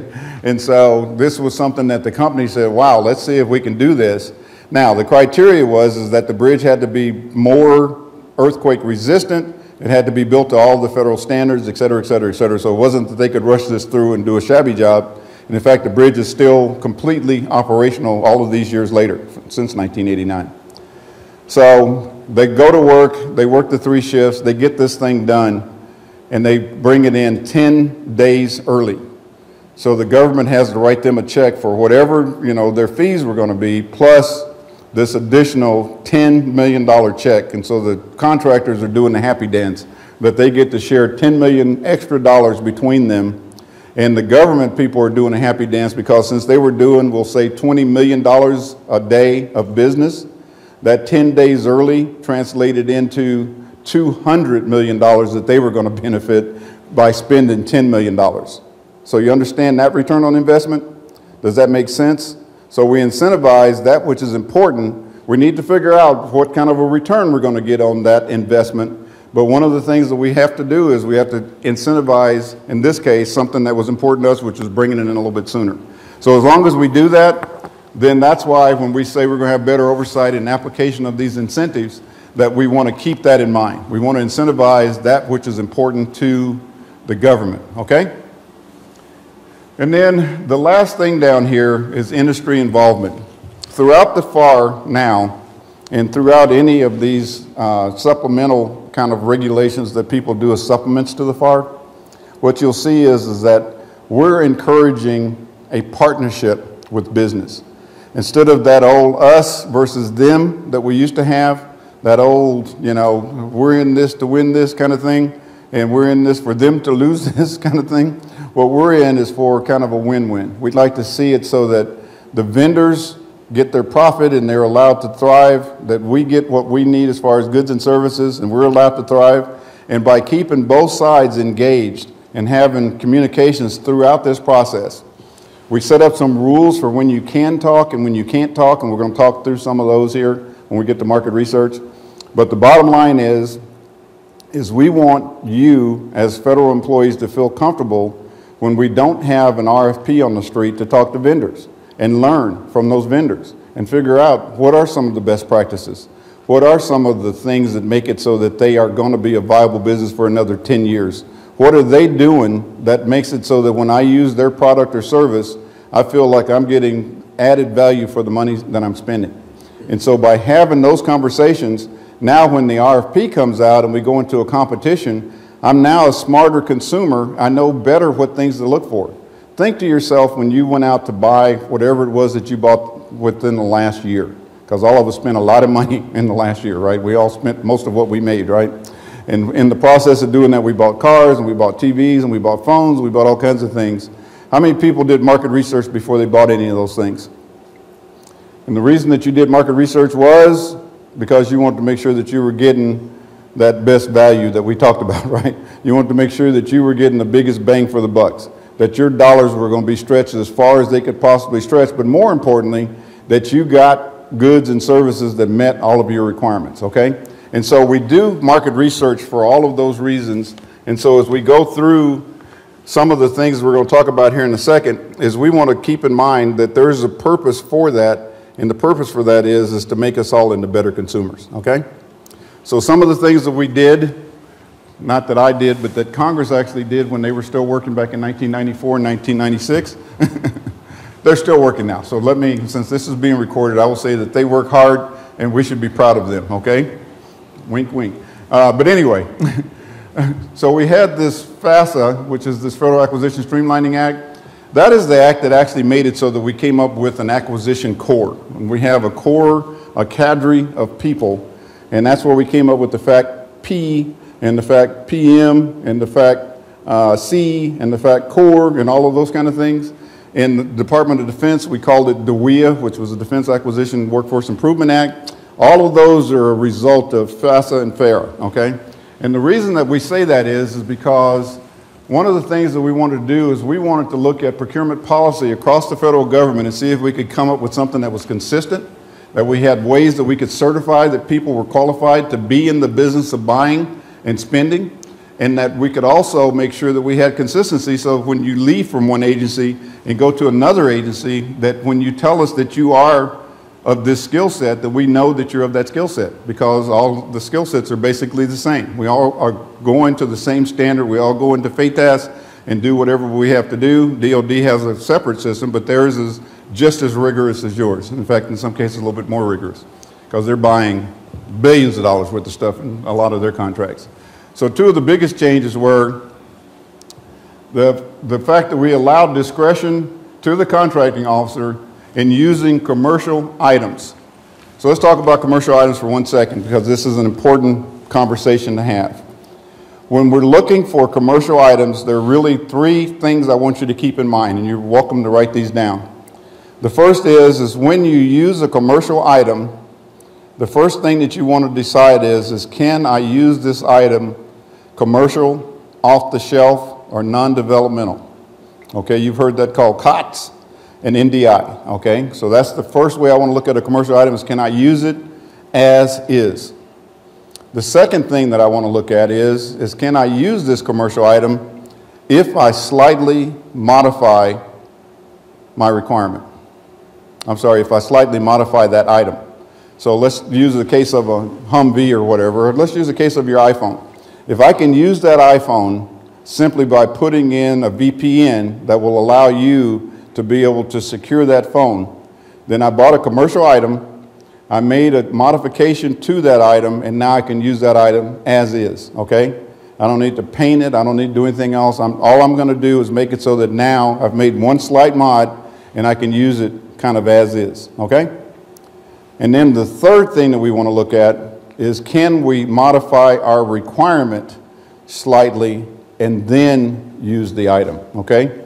So remember when I was talking about statements of work and statements of objectives and those kind of things? Let's look at those requirements to see if we can modify them just a little instead of being, and keep in mind that a lot of these commercial uh, standards that we have under ISO, under the International Standardization Organization, a lot of those requirements, to be perfectly honest, and IEEE and a lot of those kind of things are now better than a lot of the things we used to have back in the days when we used MIL standards and MIL specs and some of those things that some of you may be familiar with. All of these commercial standards, in most cases, look at your laptops, they don't break. And when they do break, it's because you abused them or whatever. At least that's the case with me, but you get the idea. Same thing with your phones, you know, they, they last and last and last. Now the technology may become outdated because that technology is moving at the speed of innovation, right? And so that's something that we can't control, but what we can control is, is by using these commercial standards. Keep those three things in mind. Commercial off the shelf or NDI, slight modification of that equipment or whatever, and then we can use it, or a slight modification of our requirement. And so what that does, though, is that encourages us when we're using our discretion as a contracting officer to make sure that we're acquiring commercial items and that we're giving uh, increased attention to market research as we go through this process, okay? And the reason that we want to have that increased focus, yes, sir. So can I get you to go to a microphone? Okay. Here, she's got one right here up front if you want to use that, please. I do that because of the people that are on the phone. I'm sorry, sir. In fact, why don't we keep one back there or something with you? If, On if- the uh, second item you mentioned about modifying the item, Okay. is there a risk there that if you tweak it, the equipment, then you lose, the, there's a high risk that uh, you won't receive updates to the item because you've changed it and there's probably some. So that's, that's actually a very good question. And so that was actually one of the reasons that we were stuck with Blackberries for, for so many years, is because we weren't actually allowed to make any modifications to most of the phones. And Apple, to be perfectly honest, didn't allow anyone to do anything to their phones, as you may recall. And that was part of Steve Jobs' um, plan from day one was is that they would make software and their software would go on their hardware and they didn't release that to anybody. Whereas with Microsoft, they released all of their software to anyone that would pay a license for it, okay? So one of the things that we do whenever we go into one of those situations where we're going to make a slight modification is we have to work with whoever that contractor is, whoever that corporation is, to figure out if we make this modification with your permission and you giving us the limited rights to make that modification, then we will not invalidate the warranty, et cetera, et cetera, et cetera, and that's something we have to work through as part of the negotiation process, okay? Would you like to add anything to that, Walt? Okay. So, I mean, that's essentially what we're looking for, though, is that if we get, and remember, this is all about rights. They have rights to anything that they paid for. We have rights to anything that we pay for. So a lot of times, if we're paying for something to be developed, then we will own all of the rights to that, unlimited. If we are paying for something and we share the development of that with the vendor, then we will share the rights to that, and we will only have, you know, shared rights to that. Uh, in the case where they put all of their dollars into something and they've done something, then they will give us limited rights, but those limited rights will only be to do something like I talked about with this IT equipment, where we're going to add some type of a virtual network to it. Okay? Does that answer your question, sir? Yes. Okay. Any other questions? Okay. So, um, so implicit in these changes is that we use market research to find suitable vendors, including suitable small business vendors, okay? So let's talk about market research. One of the things that you'll find is, is that market research is one of these things that is mandatory. We actually have a FAR part. So a part is a chapter. Chapter 10 in the FAR. Part 10 of the FAR is market research. And it's only a couple pages, but it is absolutely one of the most powerful chapters in the entire FAR. And the primary reason for that is because the things that we do for market research for the government, a lot of those same things you should be doing for market research for when you get ready to buy something. If you're getting ready to buy a house, you're getting ready to buy a car, a phone, a TV, or whatever it is, because a lot of the things that we do here, we want to do market research. So before developing new requirements documents, that's that SOW or that SOO that we talked about. If you'll notice that when I talked about it in reference to the performance-based acquisition, I only mentioned the SOW for the cup and the SOO for that other vehicle that we could use that would be able to hold liquid. There's actually a third one that we call a performance work statement. You guys, do you use performance work statements here? So a performance work statement is kind of on a continuum. A SOW over here is very restrictive. We know what we want and we get what we ask for. Over here, we know what the results are that we're looking for, but we're going to give vendors the latitude and the flexibility to surprise us with something that we may not have considered, okay? And then in between, we have this thing that's called a performance work statement, which is a lot like a SOW in that we know what we want, but it's a lot like a SOO in that we want to give them some flexibility, but we want to put it within some constraints. So in the case of that vehicle that we're going to use that could be aluminum or plastic or glass and all those kind of things, the constraint that we're going to put on here is that we want it to fit into the cup holder on my Toyota Camry, okay?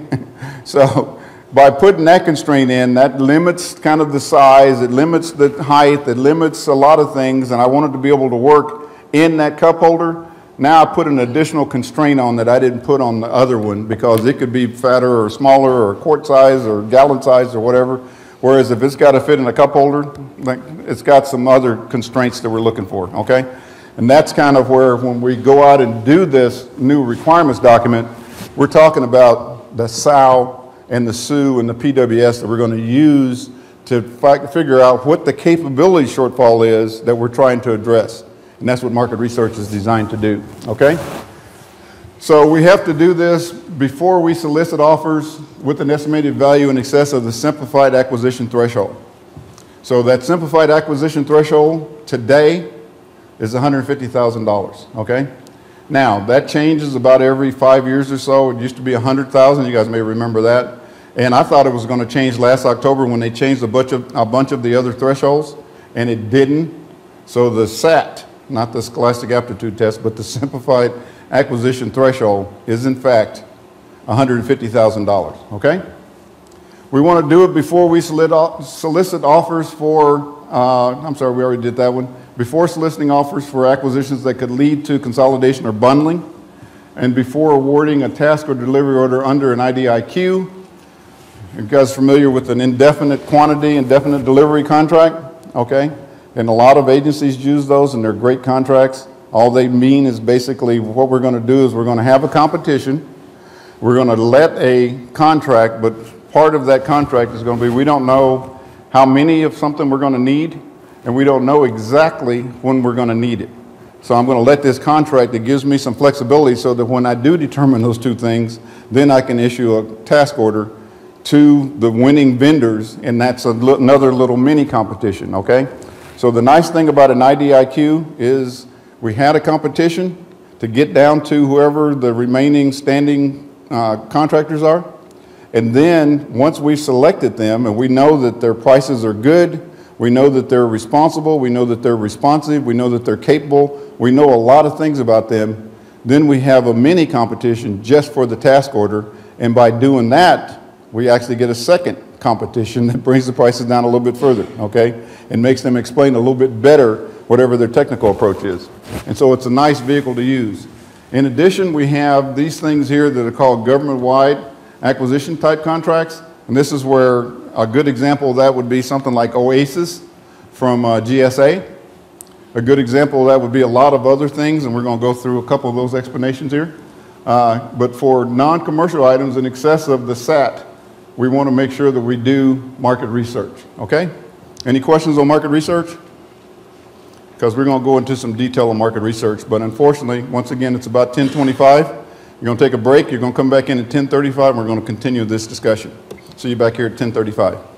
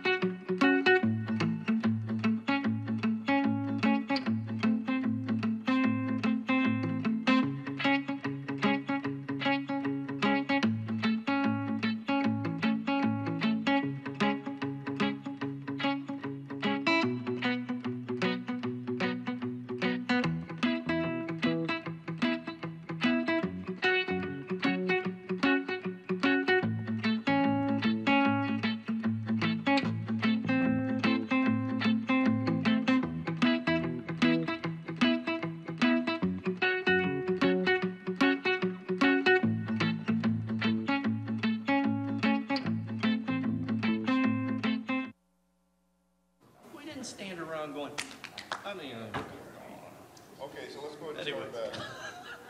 It's crazy.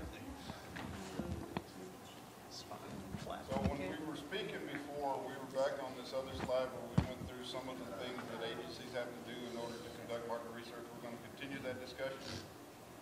This is actually the definition of market research. and that is Microphone. collecting- Mike. Oh. Thank you. Can you hear me? Battery dead? Okay. There you go. Hold on. You're good. What changed? Oh. Probably operator. Okay, so this is the definition of market research. Market research is collecting and analyzing information. That's really what we're trying to do. So when we do this, we're actually looking for what are the capabilities. A lot of people don't equate requirements with capabilities, but one of the things that you have to keep in mind that every time we talk about a need or a requirement, what we're really talking about is a capability. And we're looking for a capability shortfall that we need to address by doing market research to see what some of the solutions are to that shortfall. In addition, we do market research so that we can kind of determine what kind of a contractor we're going to use. How are we going to involve competition in this equation? How can we make sure that we're looking at the commercial things that we talked about before? How can we look for what are some of the best practices? And so this next part of this discussion is really going to talk to how we can do market research and make it so it's a more effective tool for the ways that we would like for you to appreciate the way that we try to do business. So when we do market research, it's team driven. We've already talked about the fact that we want to get all of those people in there. And you remember back on FAR Part 1, including what Anita said, we want to get the right people in the room.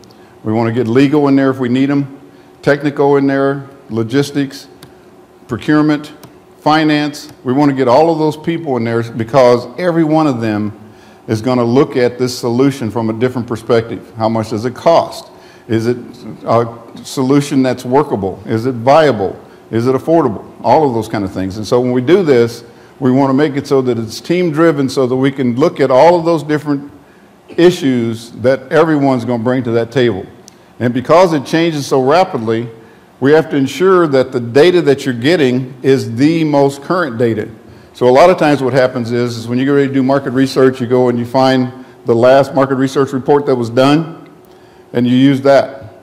So I, I like to use the example, of, I told you I'm from Washington State. We only had a couple of car dealers in my hometown. When I would go to buy a car, we would go to the car dealer. I, will have, I would have checked the consumer reports from the previous year, you know, the car edition from the previous year, which was a year old at that time, and they would tell you kind of what prices to look for. And then if there was something that was a little bit more recent, you may check that. But in those days, we went into these things completely unarmed. So fast forward to about six weeks ago when I bought a car. I actually went out and bought a car. And I did all of the market research, but my market research is going to be is going to include a lot of the things we're going to talk about here. I actually went to um, Kelley's Blue Book. I went to Consumer Digest. I went to Edmunds.com. I went to all of these websites without leaving the comfort of my own little home office. But in addition to that, as I was driving down the street and I would see someone park their car and it was a brand new Camry, I would stop and hoping not to appear to be some large, you know, gentleman stalker, I would approach them and say, how do you like this car? And what is it that you like about it? And would you buy this car again kind of things, right? And so they would be willing and happy to kind of share that information with me. And so when we do market research, we want to do the same things. We want to make sure that the data is current and that we do this as we move through this whole solicitation and proposal evaluation phase. We have to continue to update this information to make sure that it is the most current.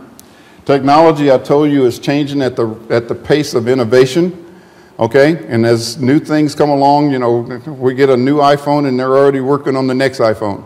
And you get this new whatever, and all of a sudden there's a newer one. And, you know, the car that I bought in 2009 didn't have a backup camera. It didn't have uh, the built-in uh, Bluetooth and all those kind of things, right?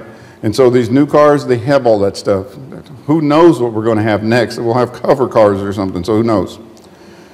But the thing is, is when we talk about market research being this collection and analyzing of- of information, one of the things that we want to keep in mind is that the purpose of this is to gather the information about the marketplace.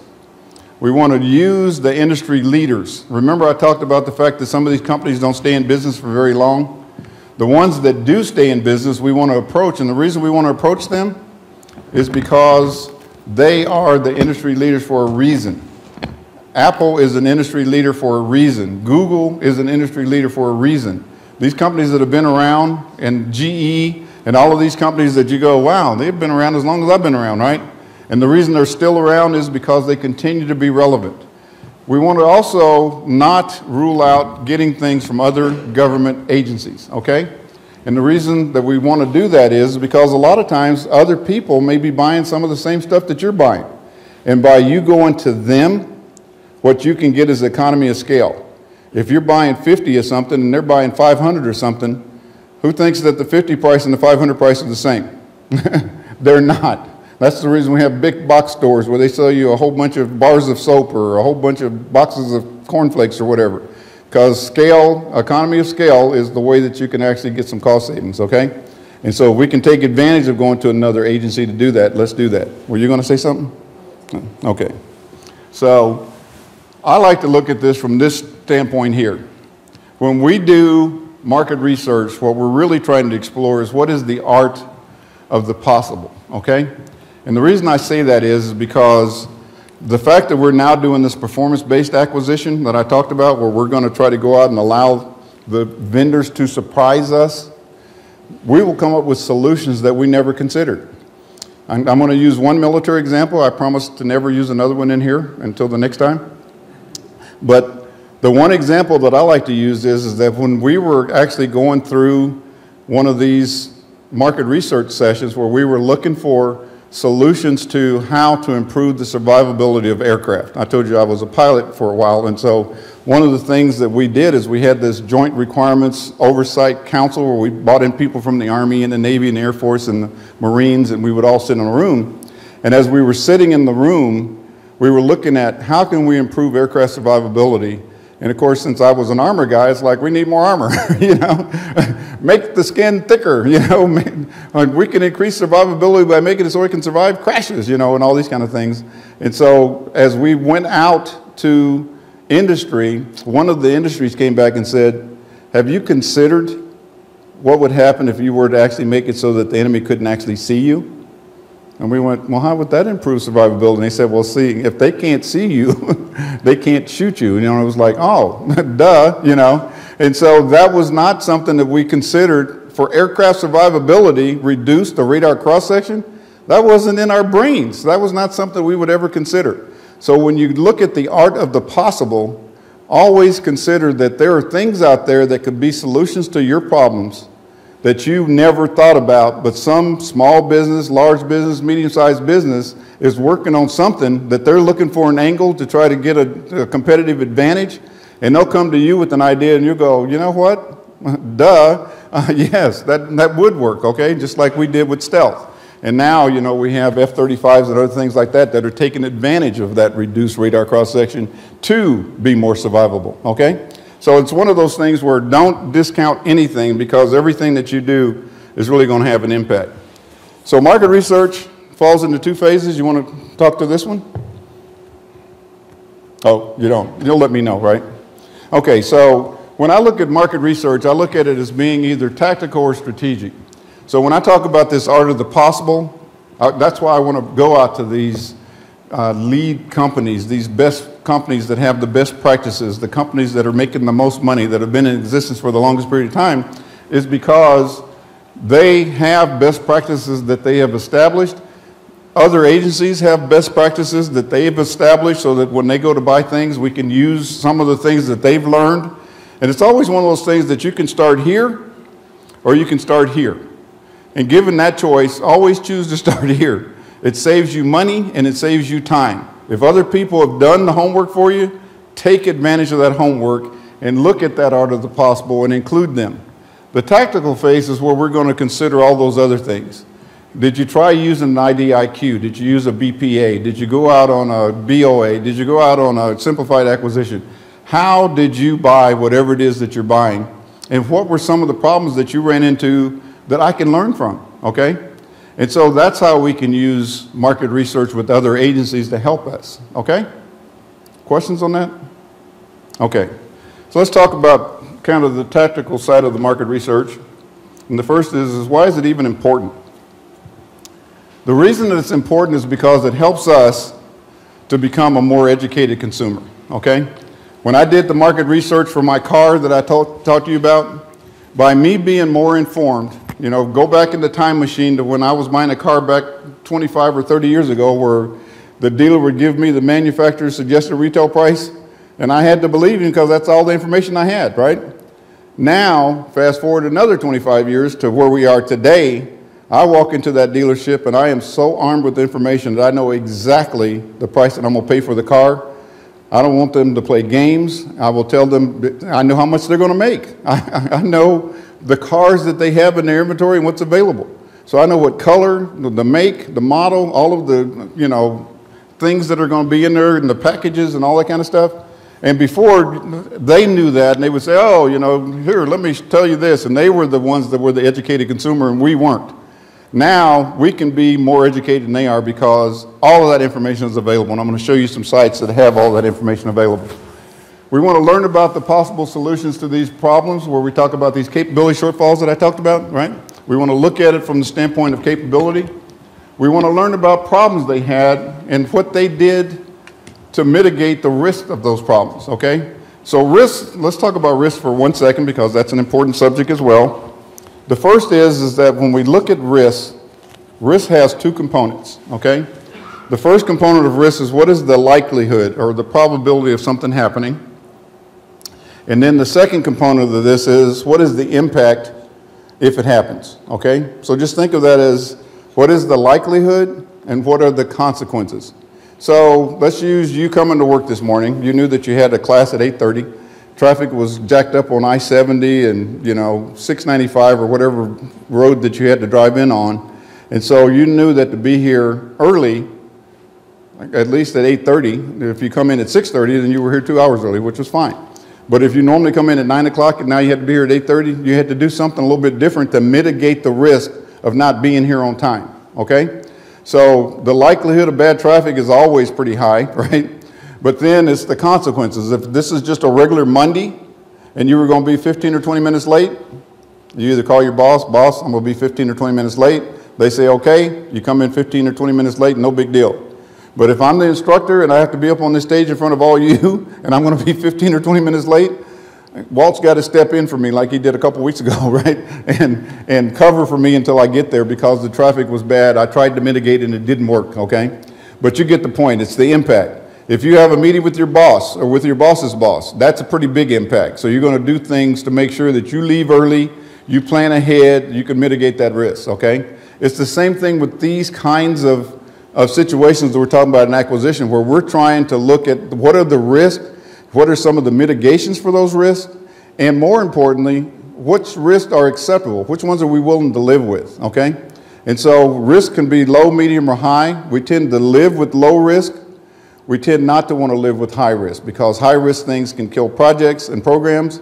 They can make it so that your risks of success or failure really, really go way down, okay? And the reason they go down is because it's high risk. And if they happen, then that's going to affect cost and schedule and performance, which are kind of the three things that we look for. So when we look at these problems, we want to figure out how can we mitigate those risks. We want to learn about the industry and other agency standards. And the reason we chose those best companies is because they are the benchmark agencies. They're the benchmark companies. They are the ones that set the standard. A lot of those standards will have people that are sitting from those companies on those standards organizations helping to rewrite what those commercial standards are so that we get to that 99.9999 you know, effort and keep things going. And then we have to learn, back to my whole commercial pitch, we have to learn what can be met using commercial technology, okay? And we talked about the three things that go with that, and I'm sure you all remember those, right? Okay. So why is it important continued? Because it permits us to talk about incentives, which we talked about before the break with my 1989 uh, earthquake example, okay? I'm sorry for that, and, uh, you know, someone used an even older example over here. We want to reduce the risk, and that gets back to those two things, consequences and impact, uh, for both the government and the contractor, because remember what we said. We're trying to make this a win-win. So we want to reduce their risk because their risk is our risk. If they fail, we fail. And we need to understand that. And the contractors definitely understand that. They don't want to fail. They want to continue to get the business. And so we do things that we don't call incentives, but they really are, because not only are they an incentive, but they're a disincentive, right? So let's talk about a couple of those. The first is, is when we decide that we're going to do a base contract and two, three, or four years of options, would anybody consider that to be an incentive? No one, only one person, two people, okay? It is an incentive. I'm a vendor, trust me. If I know that I have a chance to have employment for the next five years and all I got to do is perform, guess what I'm going to do? I'm going to perform, okay? I want that five years worth of business. So even if you're doling it out to me a year at a time because of budget and, you know, uh, appropriations and all those kind of rules, the fact that I have five years of available work and that I can get an option exercise at the end of every year as long as I continue to perform and keep you as my customer happy, I'm going to keep you as my customer happy. And you, as long as you continue to give me those options, I'm going to do everything I can to make sure that you're just as happy as, uh, you know, as can be, okay? And so that's important. And so when we look at that, we want to reduce the risk of doing business for both the government and the contractor.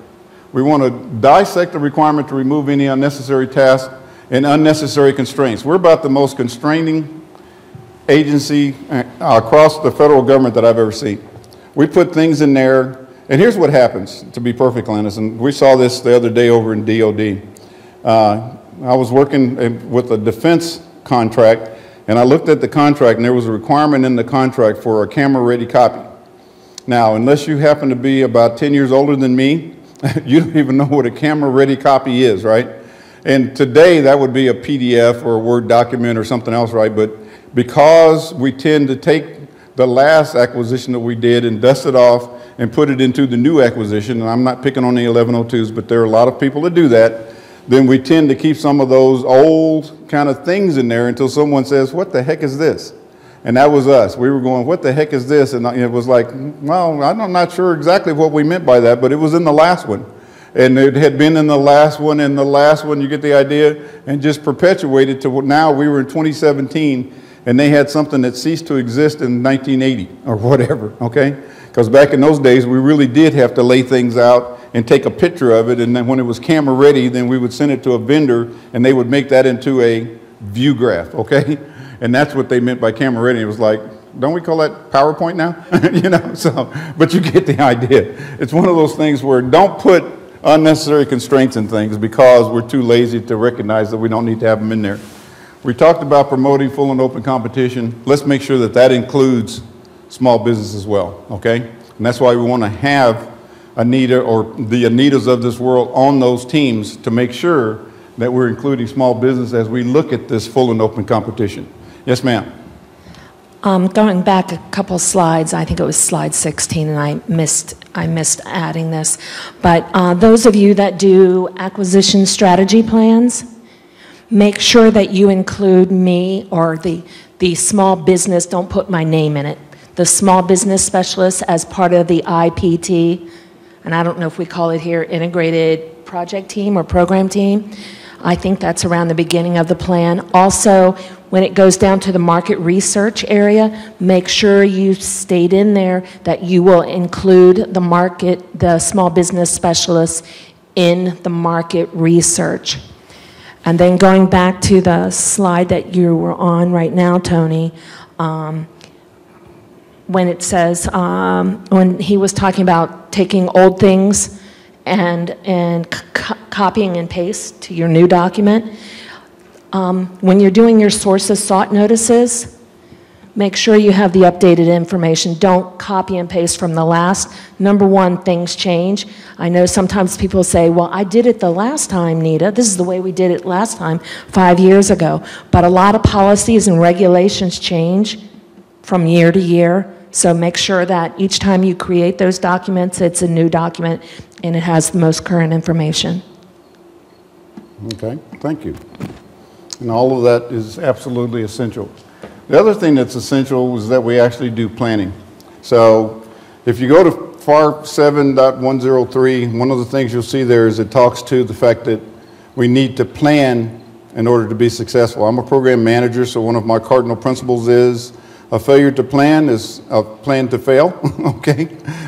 I don't know how many of you have gone on vacations without planning and start driving toward uh, Florida and say, we're going to stop when we get tired at a hotel, and then you get to a place that you want to stop and all the hotels are already booked.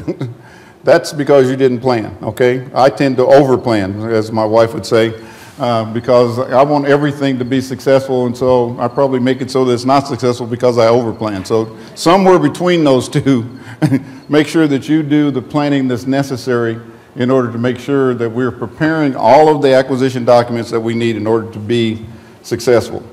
So who's responsible for doing this? So we've already talked to that. And that's what Anita's talking about, is this acquisition team. And make sure that you add the small business person to this list of all of these people that we want to have as part of this team. They're going to be the ones that are responsible for doing this market research because they all bring something that's a slightly different perspective. And the reason that we always kind of insist that we have competition advocates and small business advocates and legal and some of those people is to protect you, okay? Because if you get far enough along down the pike and you haven't looked at some of these things from the angles that these folks bring, you're to have to go back and do it again, okay? Let's not go back and do it again. Let's get it right the first time. Each stakeholder is going to have a related but different viewpoint. Uh, the information that's gathered by this team has to be sorted and analyze and prioritize, resulting in a documented report. So one of the things to keep in mind is, is that we don't want to have one agency or contractor's information that is going to be shared with another agency or contractor as long as we're keeping this information. We don't want to attribute any information to one vendor or one agency.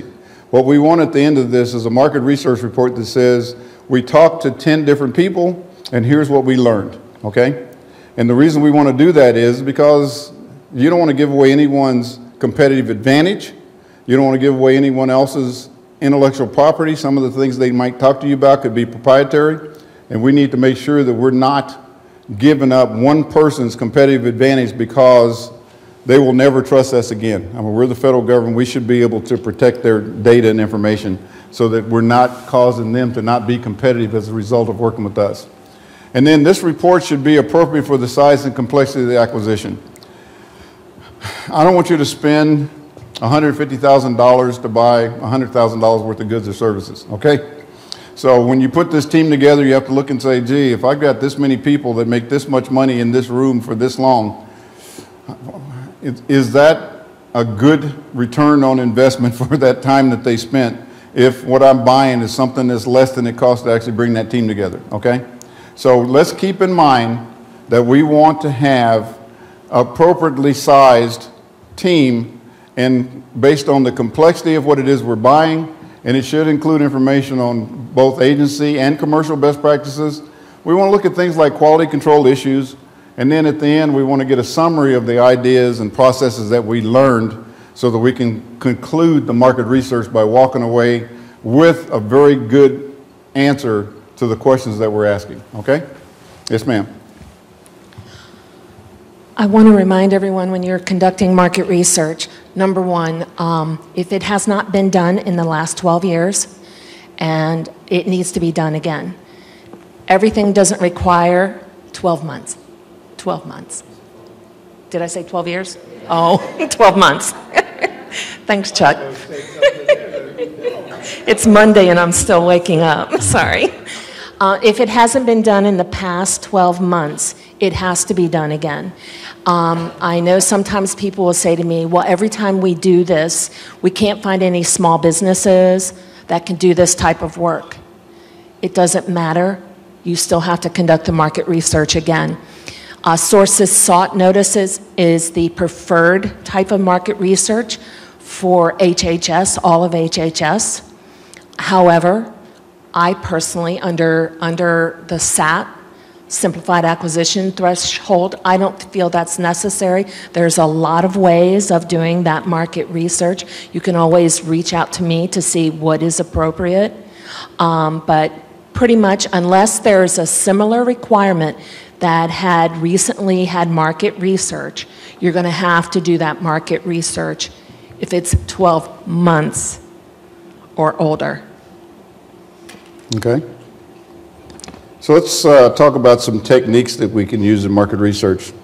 And just so you know, FAR Part 10 actually lists all of these, and I can take you to the FAR Part 10, and you'll see that these are what they list as being some of the techniques that we can use. And so I'm going to go over these.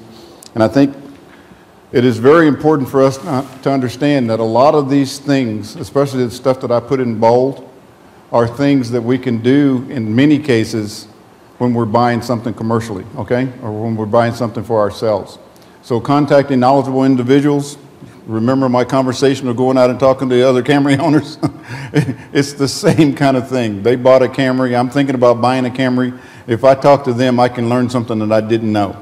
And it's the same thing here. If there are people out there in government or industry that have some knowledge on what it is that I'm doing, I want to have them in for a conversation I want to call them. I want to send them an email. I want to use, take advantage of the technology.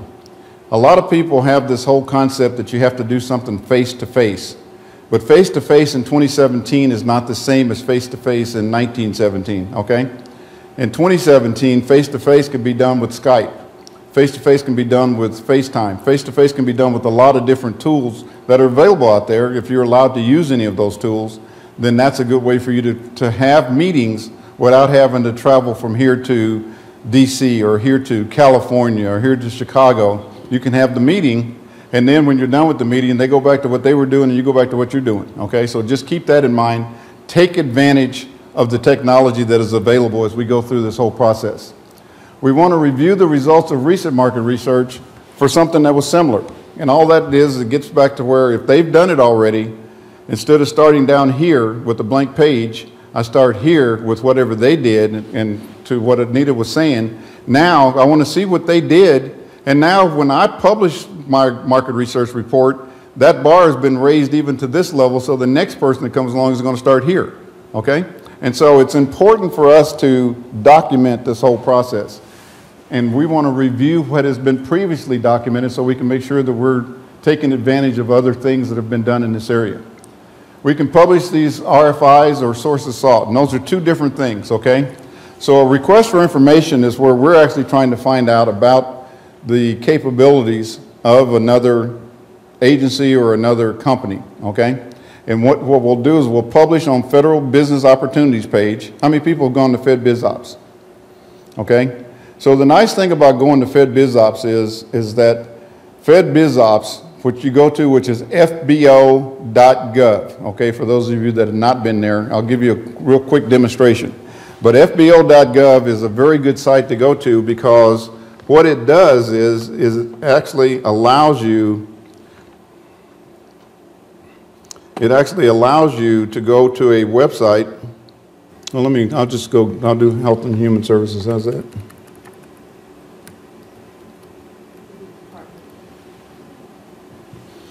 So here we go for Centers for Medicaid and Medicare.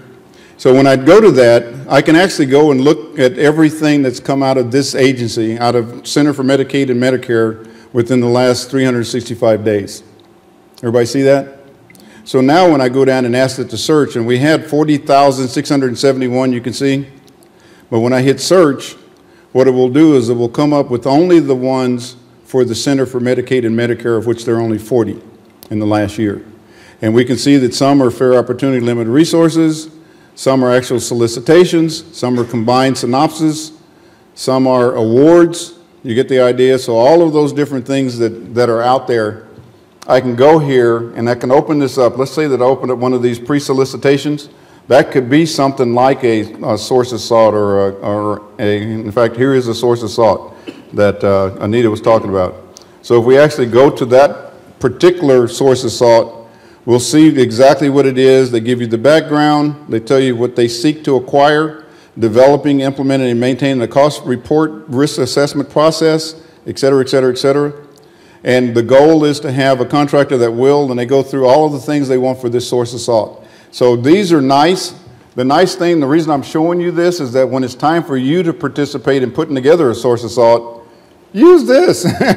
this is something that passed through all of the contracting officers and legal and everything else and got published on FedBizOpps by your agency.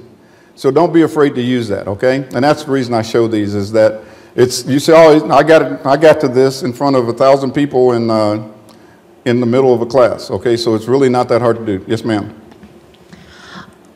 I highly recommend when people are developing their draft sources sought that they go through me if they haven't gone through me in the past because sometimes when people have posted sources sought notices on FedBizOpps uh, without going through me, I find things that might be restrictive. I find things that um, it appears that you're looking for a proposal, but you say you're not going to. So to avoid having to do a sources sought notice a second time, I highly recommend going through me at least initially till you see what I'm looking for, or you can ask me for samples. Okay.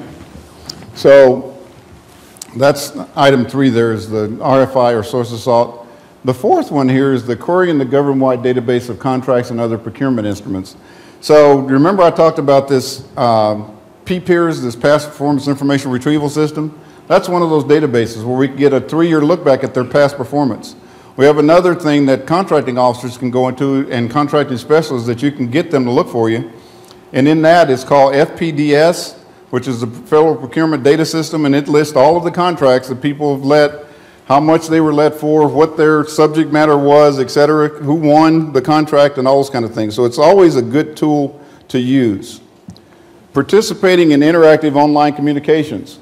That's another way that you can do this. This is actually designed more for the, for the later generations, we'll call it. so one of the things I like about this whole tool is, is that they have now put things like bulletin boards out there on FedBizOpps in some cases where you can go and post ideas. And by allowing people to have conversations around those ideas, it gives you some ideas that you may not have considered. Now, we've done this on a couple of different market research uh, engagements with Homeland Security where I work now. And I have to say that it's a little bit more time uh, consuming than what I usually like to do for market research because you've got to sort through a lot of kind of chaff to get to the wheat kind of thing, right? But more importantly, what you get is, is ideas from people that are not your usual standard people that respond to a FedBizOpps type uh, request.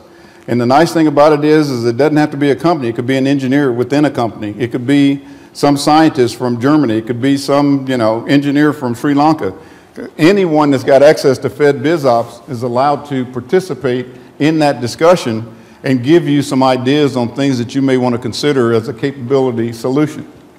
We can get source lists of similar items from other contracting activities or agencies, and that just means going to that FedBizOpps and instead of just looking for what's under CMS or HHS, go to FedBizOpps and see what's available out there on the subject that you're looking for. Put into the search whatever it is that you're looking for to see who else might be doing something along those lines. And you see how quickly that search tool works.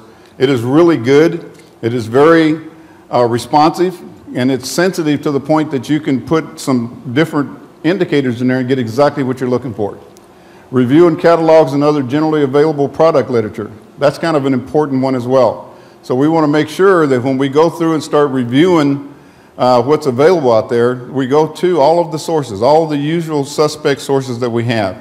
But add to that list of usual suspect sources things like the uh, organizations the, that the manufacturers have, the literature that comes out from the associations, all of those kind of things, we want to make sure that you include everybody and every possible response as you go through this search because we want you to be educated consumers.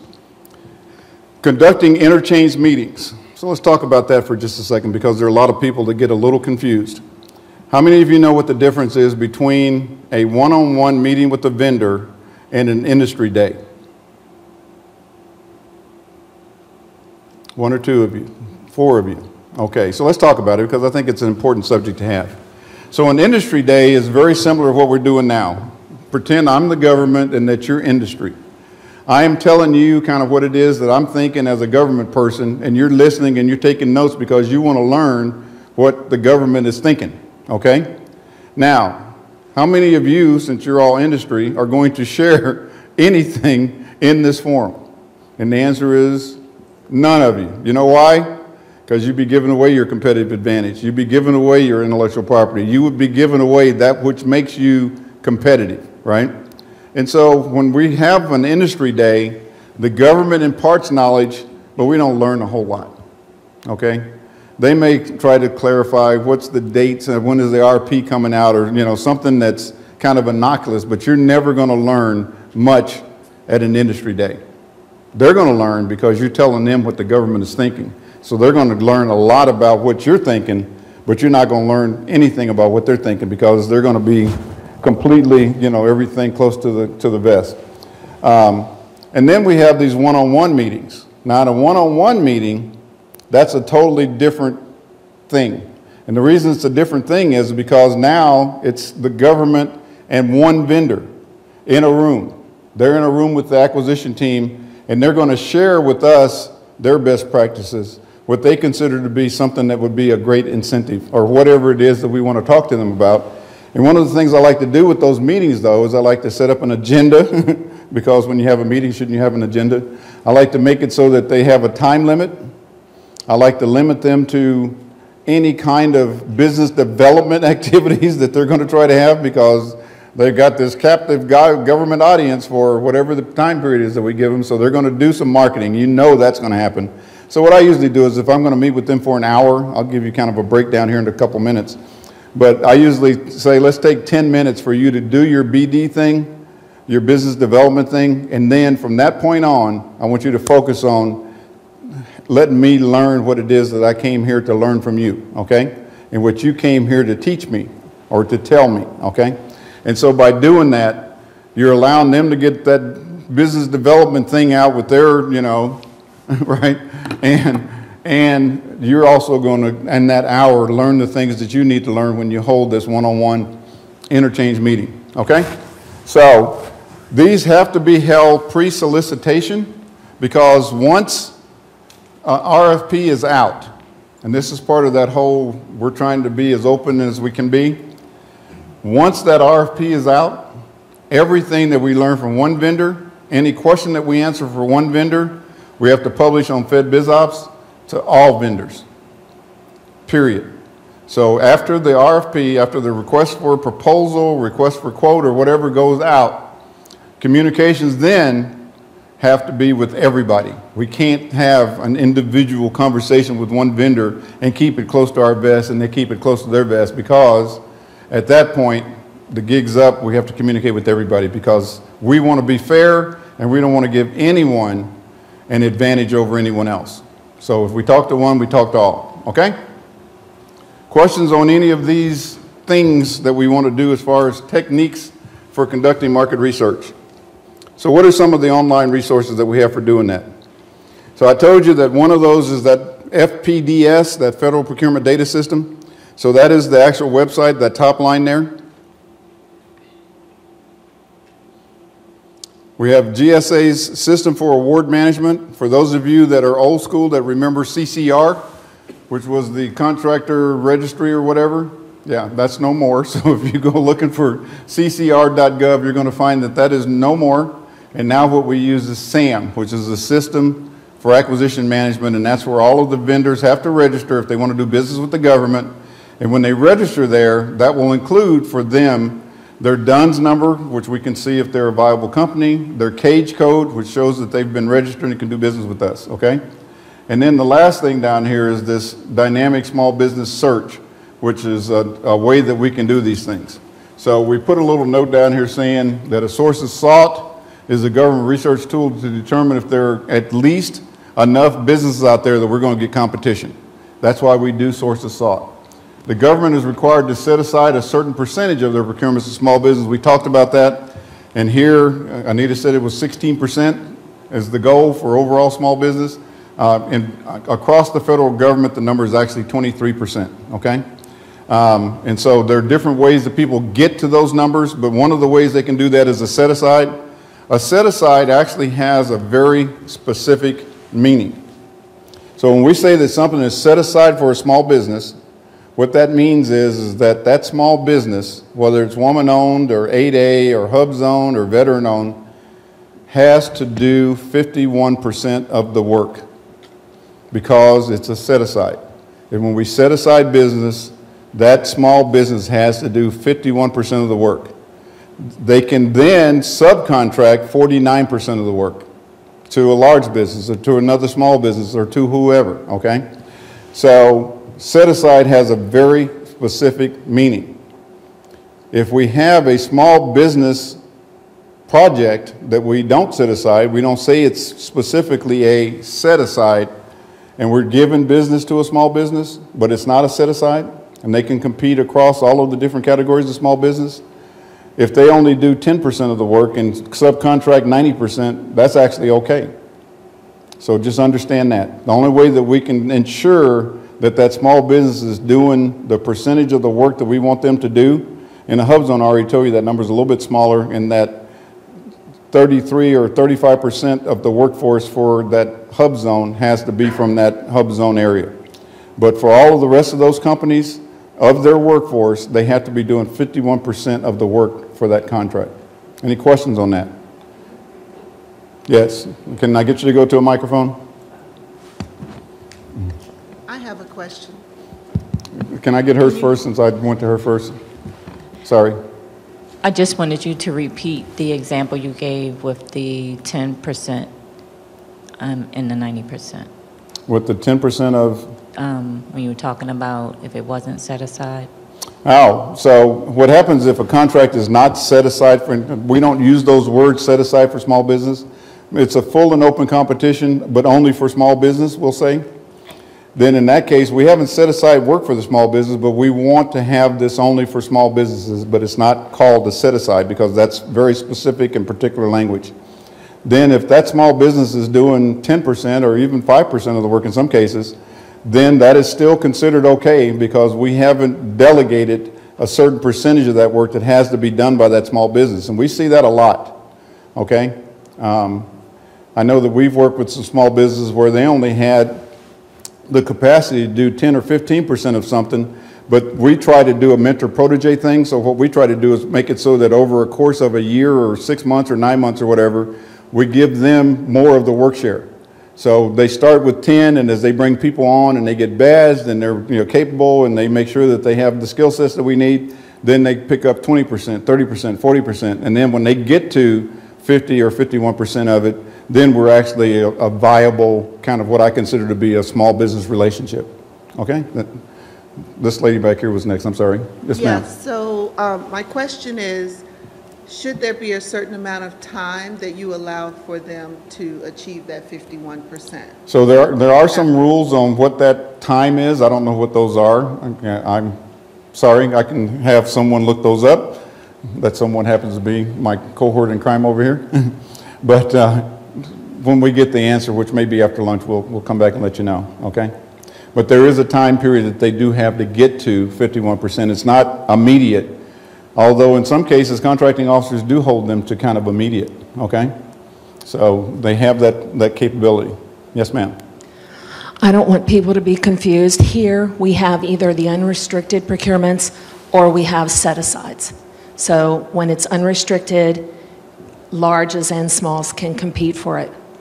Now, as far as the 51% rule, you need to talk to your uh, contracting officer about those because it's the total cost of the contract now, the Total 51%, total value of the contract,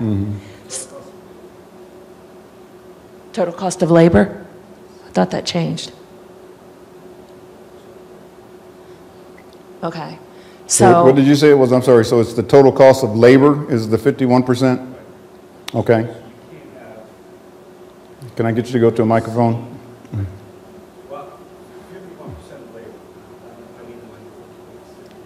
Now, I want to make sure we get this right because like, I'm not a, a contracting officer, but I play one on TV. I always thought it was 51% of labor. We need to check the FAR because I think that changed the total, 51% total cost of the contract, total value, but I'm not sure. So we'll check it. But I, I don't want people to be confused. It's either unrestricted or it's set aside. There are mentor protege agreements and joint ventures. And some agencies have, give credit to mentor protege agreements. Here at HHS, we do not have a current mentor protege program, so that's usually done through SBA. And then th- they may form a joint venture to come after a particular procurement. And their partners may, in that joint venture, may be a large business. And then SBA has those rules for those joint ventures. And the joint venture has to be approved before award of a contract by SBA. So we're going to get some clarification on the 51%, which I think is a good idea. So I see that my cohort is working furiously over there, but we'll have this for you after lunch. Let's talk about some other market research resources, though. Uh, If you've bid for things like this before, then you got your former bidders list. You have your current awardees, which is also a good source. You saw when we went to FedBizOpps that they actually have to post awards on FedBizOpps, so you can actually see who won. You can see exactly what the price was that they won for whatever that was, and when it was awarded and what the period of performance of the contract is, so you can see if, for me as a vendor, I can go there and see when that opportunity is going to come up again as a potential for me to bid, okay? And I know what the winning bid was this time, so I know in many cases I'm going to have to get under that. So it gives a lot of information that people can use for uh, trying to, if, whether you're a vendor or the government, as far as doing market research and developing independent government cost estimates and those kind of things, okay? It's helpful to review these historical files for similar acquisitions. I've already talked about that. You want to contact these small business professionals, such as these PCRs and business opportunity specialists and small business specialists within, and in some cases that you may know from other assignments that you had. Just don't be afraid to contact people to get information because these folks are a, a resource that you should not ignore. And it can be very, very helpful in making sure that you help the agency to meet some of those goals. I know that uh, GSA kind of ruined it for the rest of us for going to industry conferences. but, but I do want you to keep in mind that that window is opening again and that more people are attending these conferences and exhibitions and, and uh, all those kind of things so that you can use those as a way for you to learn. And when I've gone to industry conferences, both as a government person and as an industry person, I learn a certain amount by the people that are presenting the papers and all of the technical, you know, panels and all that kind of thing. But I learn probably even more sometimes at lunch and at the happy hour afterwards. And I mean, I remember it, but, but you do learn a lot by going to these things, and it's, it's just a resource that you want to take advantage of. Um, use this business development program that we talked about for the eight A's, and we're going to talk about it a little bit more. But especially if you're going to be using a small business set aside, because they are basically in a position where they can market. We can market with them. We can help them to develop their capabilities and skill sets. We can make sure that we're increasing their probability of success, okay? So that's what we're trying to do is we're trying to make it so that we get more vendors that are more capable, that are providing us with things that help us to further our mission and that make us into better consumers. And then the last thing on this slide is, is that you want to look at the SBA district office and the business opportunity specialist because they can be another good resource for identifying capable program particulars that you may be looking for. Yes, ma'am. Um, In the FAR, under the, the limitations on subcontracting, clause 52-219-14, under services except construction, at least 50% of the cost of contract performance incurred for personnel, Chuck, you're right, shall be expended for employees of the concern. So that would be 50% of the labor. Okay? Yes, sir. So can I get you to go to a microphone, please?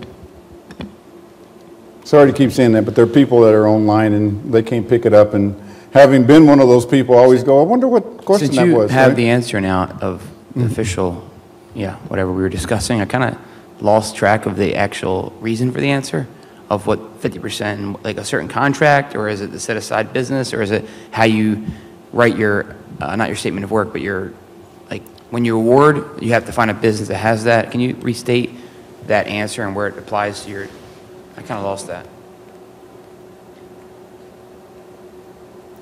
So did you stand up so you can answer this, Walt, or did you stand up so that she can give the answer to it? Or would you like me to give the answer to it? Why don't we let you give the answer to it? Oh, brother. I'm looking at the whole clause.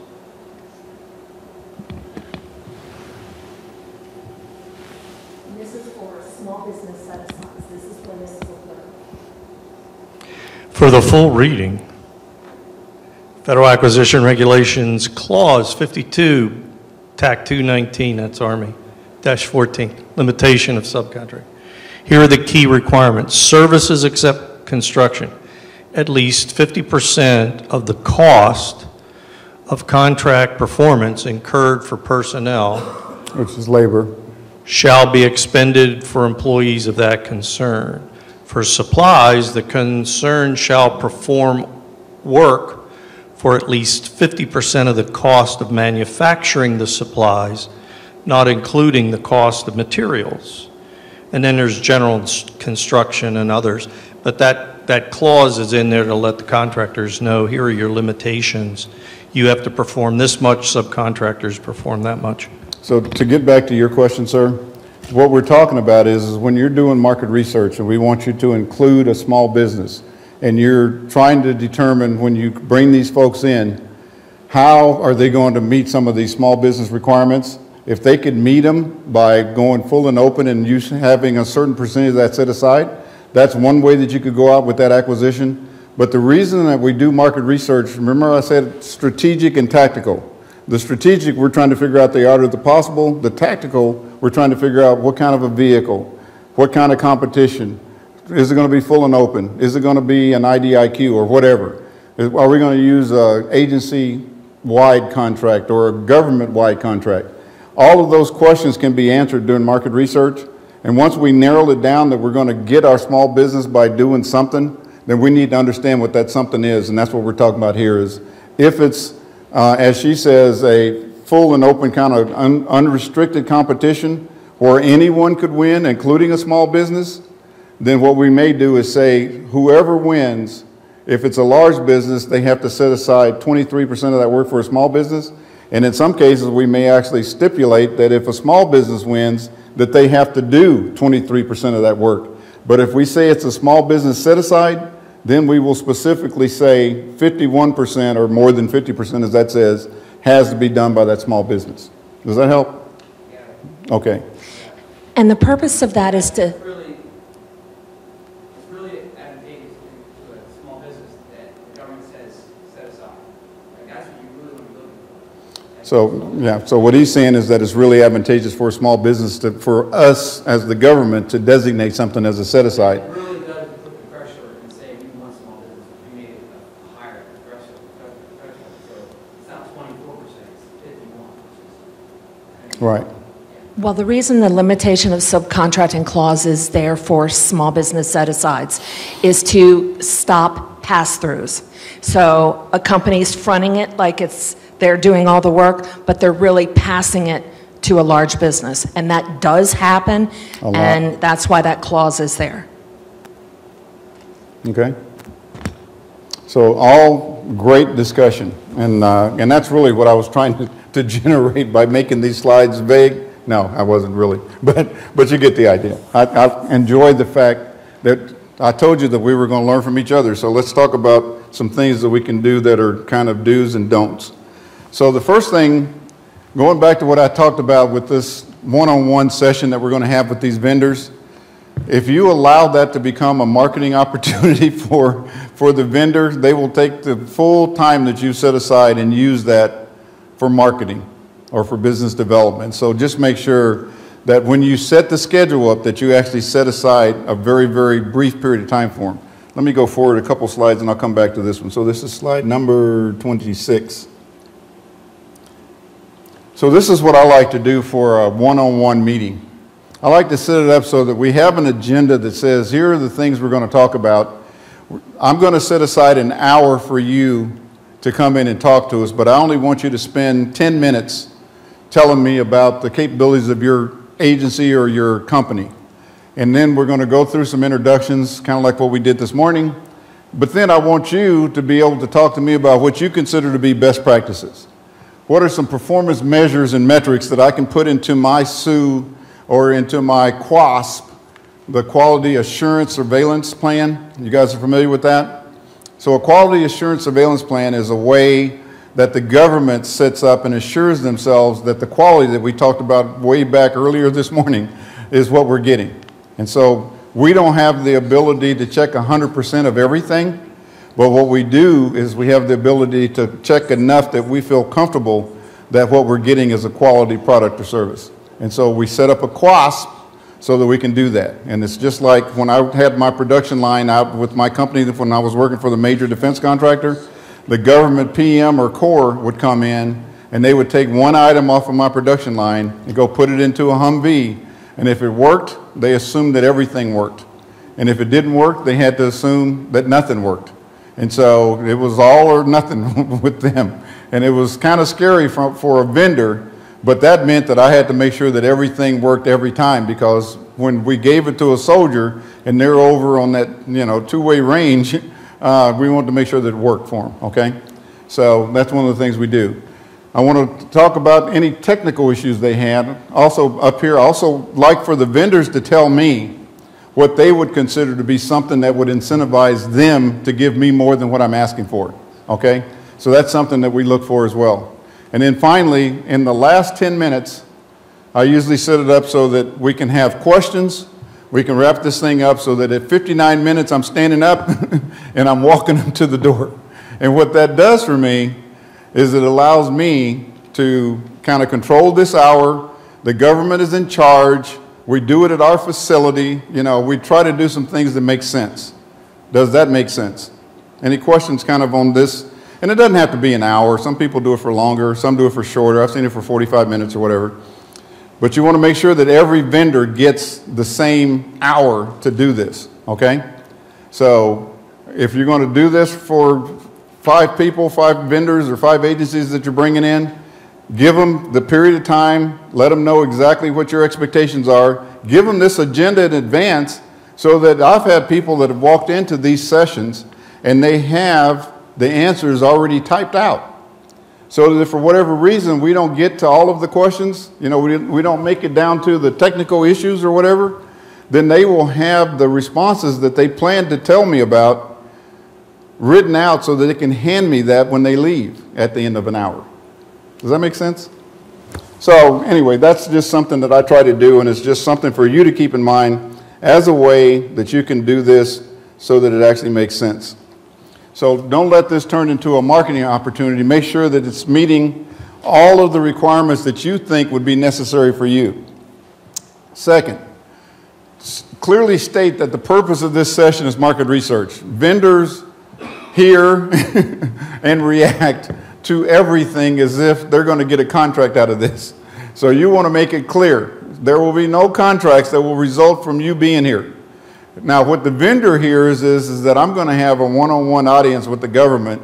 I'm going to be able to shape this procurement so that I have a competitive advantage, which is fine. I don't mind that. I'm a vendor. Trust me, I would do the same thing.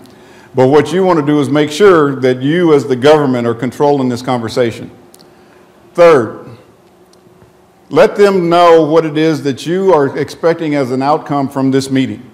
So if it's those things that I listed on that previous slide, that I want to know about incentives and best practices and what made you a benchmark company and what can I expect, what were problems that you had and how did you solve them, what kind of prices did you come to, whatever it is, clearly state that so that when they come in, they're prepared to answer your questions. This is not a game of gotcha.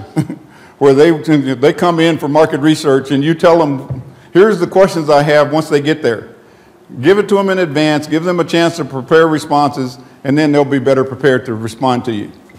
Make sure that you invite the right people. There's nothing I hate worse than when everybody on the team introduces themselves and everyone on the team is a business development person. I get a little suspicious as to how they're going to address my technical issues or my best practices or production issues or whatever it is that I have questions on if they're all a bunch of BD people. So tell them in advance. I also like to restrict the number of people that are coming in, by the way, because I've worked with some companies. Uh, they shall remain uh, nameless, but just understand that they're large like defense contractors. And they would send me this list of people that they plan to bring, and it would have like 15 names on it.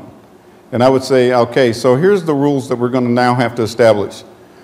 Every vendor that's coming in to help us with market research is restricted to five people, of which only one can be a business development person, period. And you can do that. You can tell them, you know, what the team can consist of that's coming in to talk to you. So if they come in with three, they can still have one. If they come in with two, they can still have one. But the bottom line is, is that you really want the people there that can answer the questions. Um, and then make sure that you have an agenda. If you don't have an agenda, there's no way that this meeting is going to happen. You know, as I started the morning off telling you, here's what you could expect. If you guys get bored back there, you can kind of see where we are on that list and go, oh God, we only got another, you know, 14 items left on this list or whatever. It's the same thing. We want them to prepare in advance. We want you to prepare a list of technical questions if that's appropriate. Don't direct those questions to one solution. So we're here to learn. And once again, What's the definition of insanity?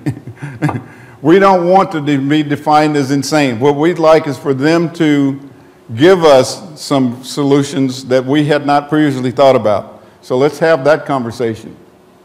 You want to let them know if the session is going to be recorded? I put that in there, but let me tell you a secret. When I say record, I don't mean that you have a tape recorder and that you're recording the session. What I mean is that someone's taking notes and that those notes are going to be published, but they're not going to be published that indicate what we learned from them. Those notes are going to be compiled, and we're going to tell you what we learned from all of the vendors that we talked to. So we're never going to attribute anything we learned to that one vendor. Because I don't think under any circumstances should you be recording an, a one-on-one session with the vendor because if someone FOIAs that, then you got to fight it for proprietary reasons and all those kind of things, and that becomes a legal battle that you don't want to address. Okay? Uh, if they're going to talk about proprietary things, make sure that whatever they give you that you secure and that you put it into a storage container or something that makes sure that you don't get one vendor's, you know, there's nothing worse than having three or four of these in a row and you receive these brochures or whatever with proprietary information from one vendor and now this next vendor comes in and there you have it laying on the table and you all went to go get a cup of coffee and the vendor's sitting there going, gee, should I look at this? competitors' stuff and don't even tempt them with that, okay? Yes.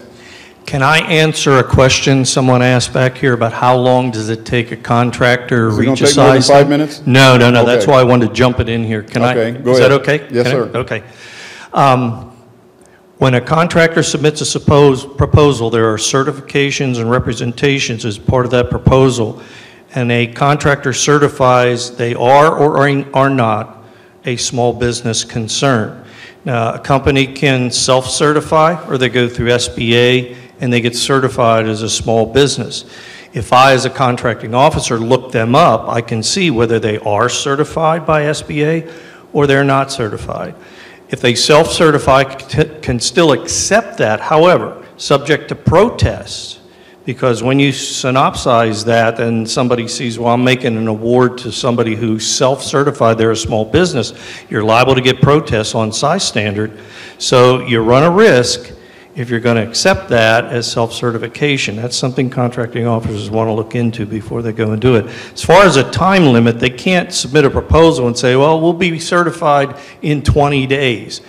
Because it says in the certs and reps, not I will be, or I may be, but I am or I am not a small business. So they have to certify that on the, on the Okay. proposal, so. Sounds good. And it's the same thing that we were talking about before with the veteran-owned businesses, that if you go to the V- Veterans Affairs list, then you can see who's on that list still, because people are on that list and they graduate. but they don't tell you that they graduated, they just tell you that they were on the list, right? And now they're no longer on that list. And so, in some cases, and that's kind of what he's alluding to, is just make sure that they are and not that they used to be or that they will be, okay? But most importantly, just make sure that we're not sharing one company's solution and be careful with this whole intellectual property thing. And then lastly, we want to conduct market research. I like to do it at the government's location or at a neutral location. And then what that, the reason I do that is, is because if you do it at their location, how do you know that they're not recording this and that you're going to be held to something that you may have said? You know, so you want to make sure that that's not the case by you being in control of that location. Either it's a neutral or it's at the government, and that way we can kind of control who is doing what, and that's important because we don't want to put ourselves at risk either. Now, this last, or the next to last one here is one of my own pet peeves because this is 2017, and I know we use email for a lot of things. So when someone has left their business in California and gotten on an airplane and flown coast to coast to come here and visit you in beautiful Baltimore, and they had to spend the night because your meeting was at 9 o'clock, and they have the meeting, they're going to have lunch, and then they're going to get on a plane and fly back to California, that's a pretty big commitment for you to then send them a thank you note via email that says, thanks for coming. So what I like to do, and it's probably because I'm an old school guy, I like to actually take my stationery or whatever I have for my agency, put a thank you note on there that says, thank you for taking time. I know that you have a lot of different things that you could have been doing. You came to visit us and to educate us, and we really appreciate that. And sign it. My name, my title, and put it in an envelope and actually send it to them. Now, fast forward back or go backwards in time to when I was actually in the government. I actually went to visit a vendor about maybe three years after I left the Pentagon, and on the wall behind his desk was one of those thank you notes that I had sent for someone coming in to do market research with me when I was in the Pentagon. That's how important it was for them and it took me three minutes and a, you know, 14 cent stamp or whatever it was at that time to actually send it to him. Okay? And speaking of 14 cent stamps, it's about time for stamping a lunch hour on us. So it's about a quarter till by this clock. We're going to come back in at 1 o'clock by this clock. In an hour and 15 minutes, we're going to start again. Okay? I'll see you at 1 o'clock.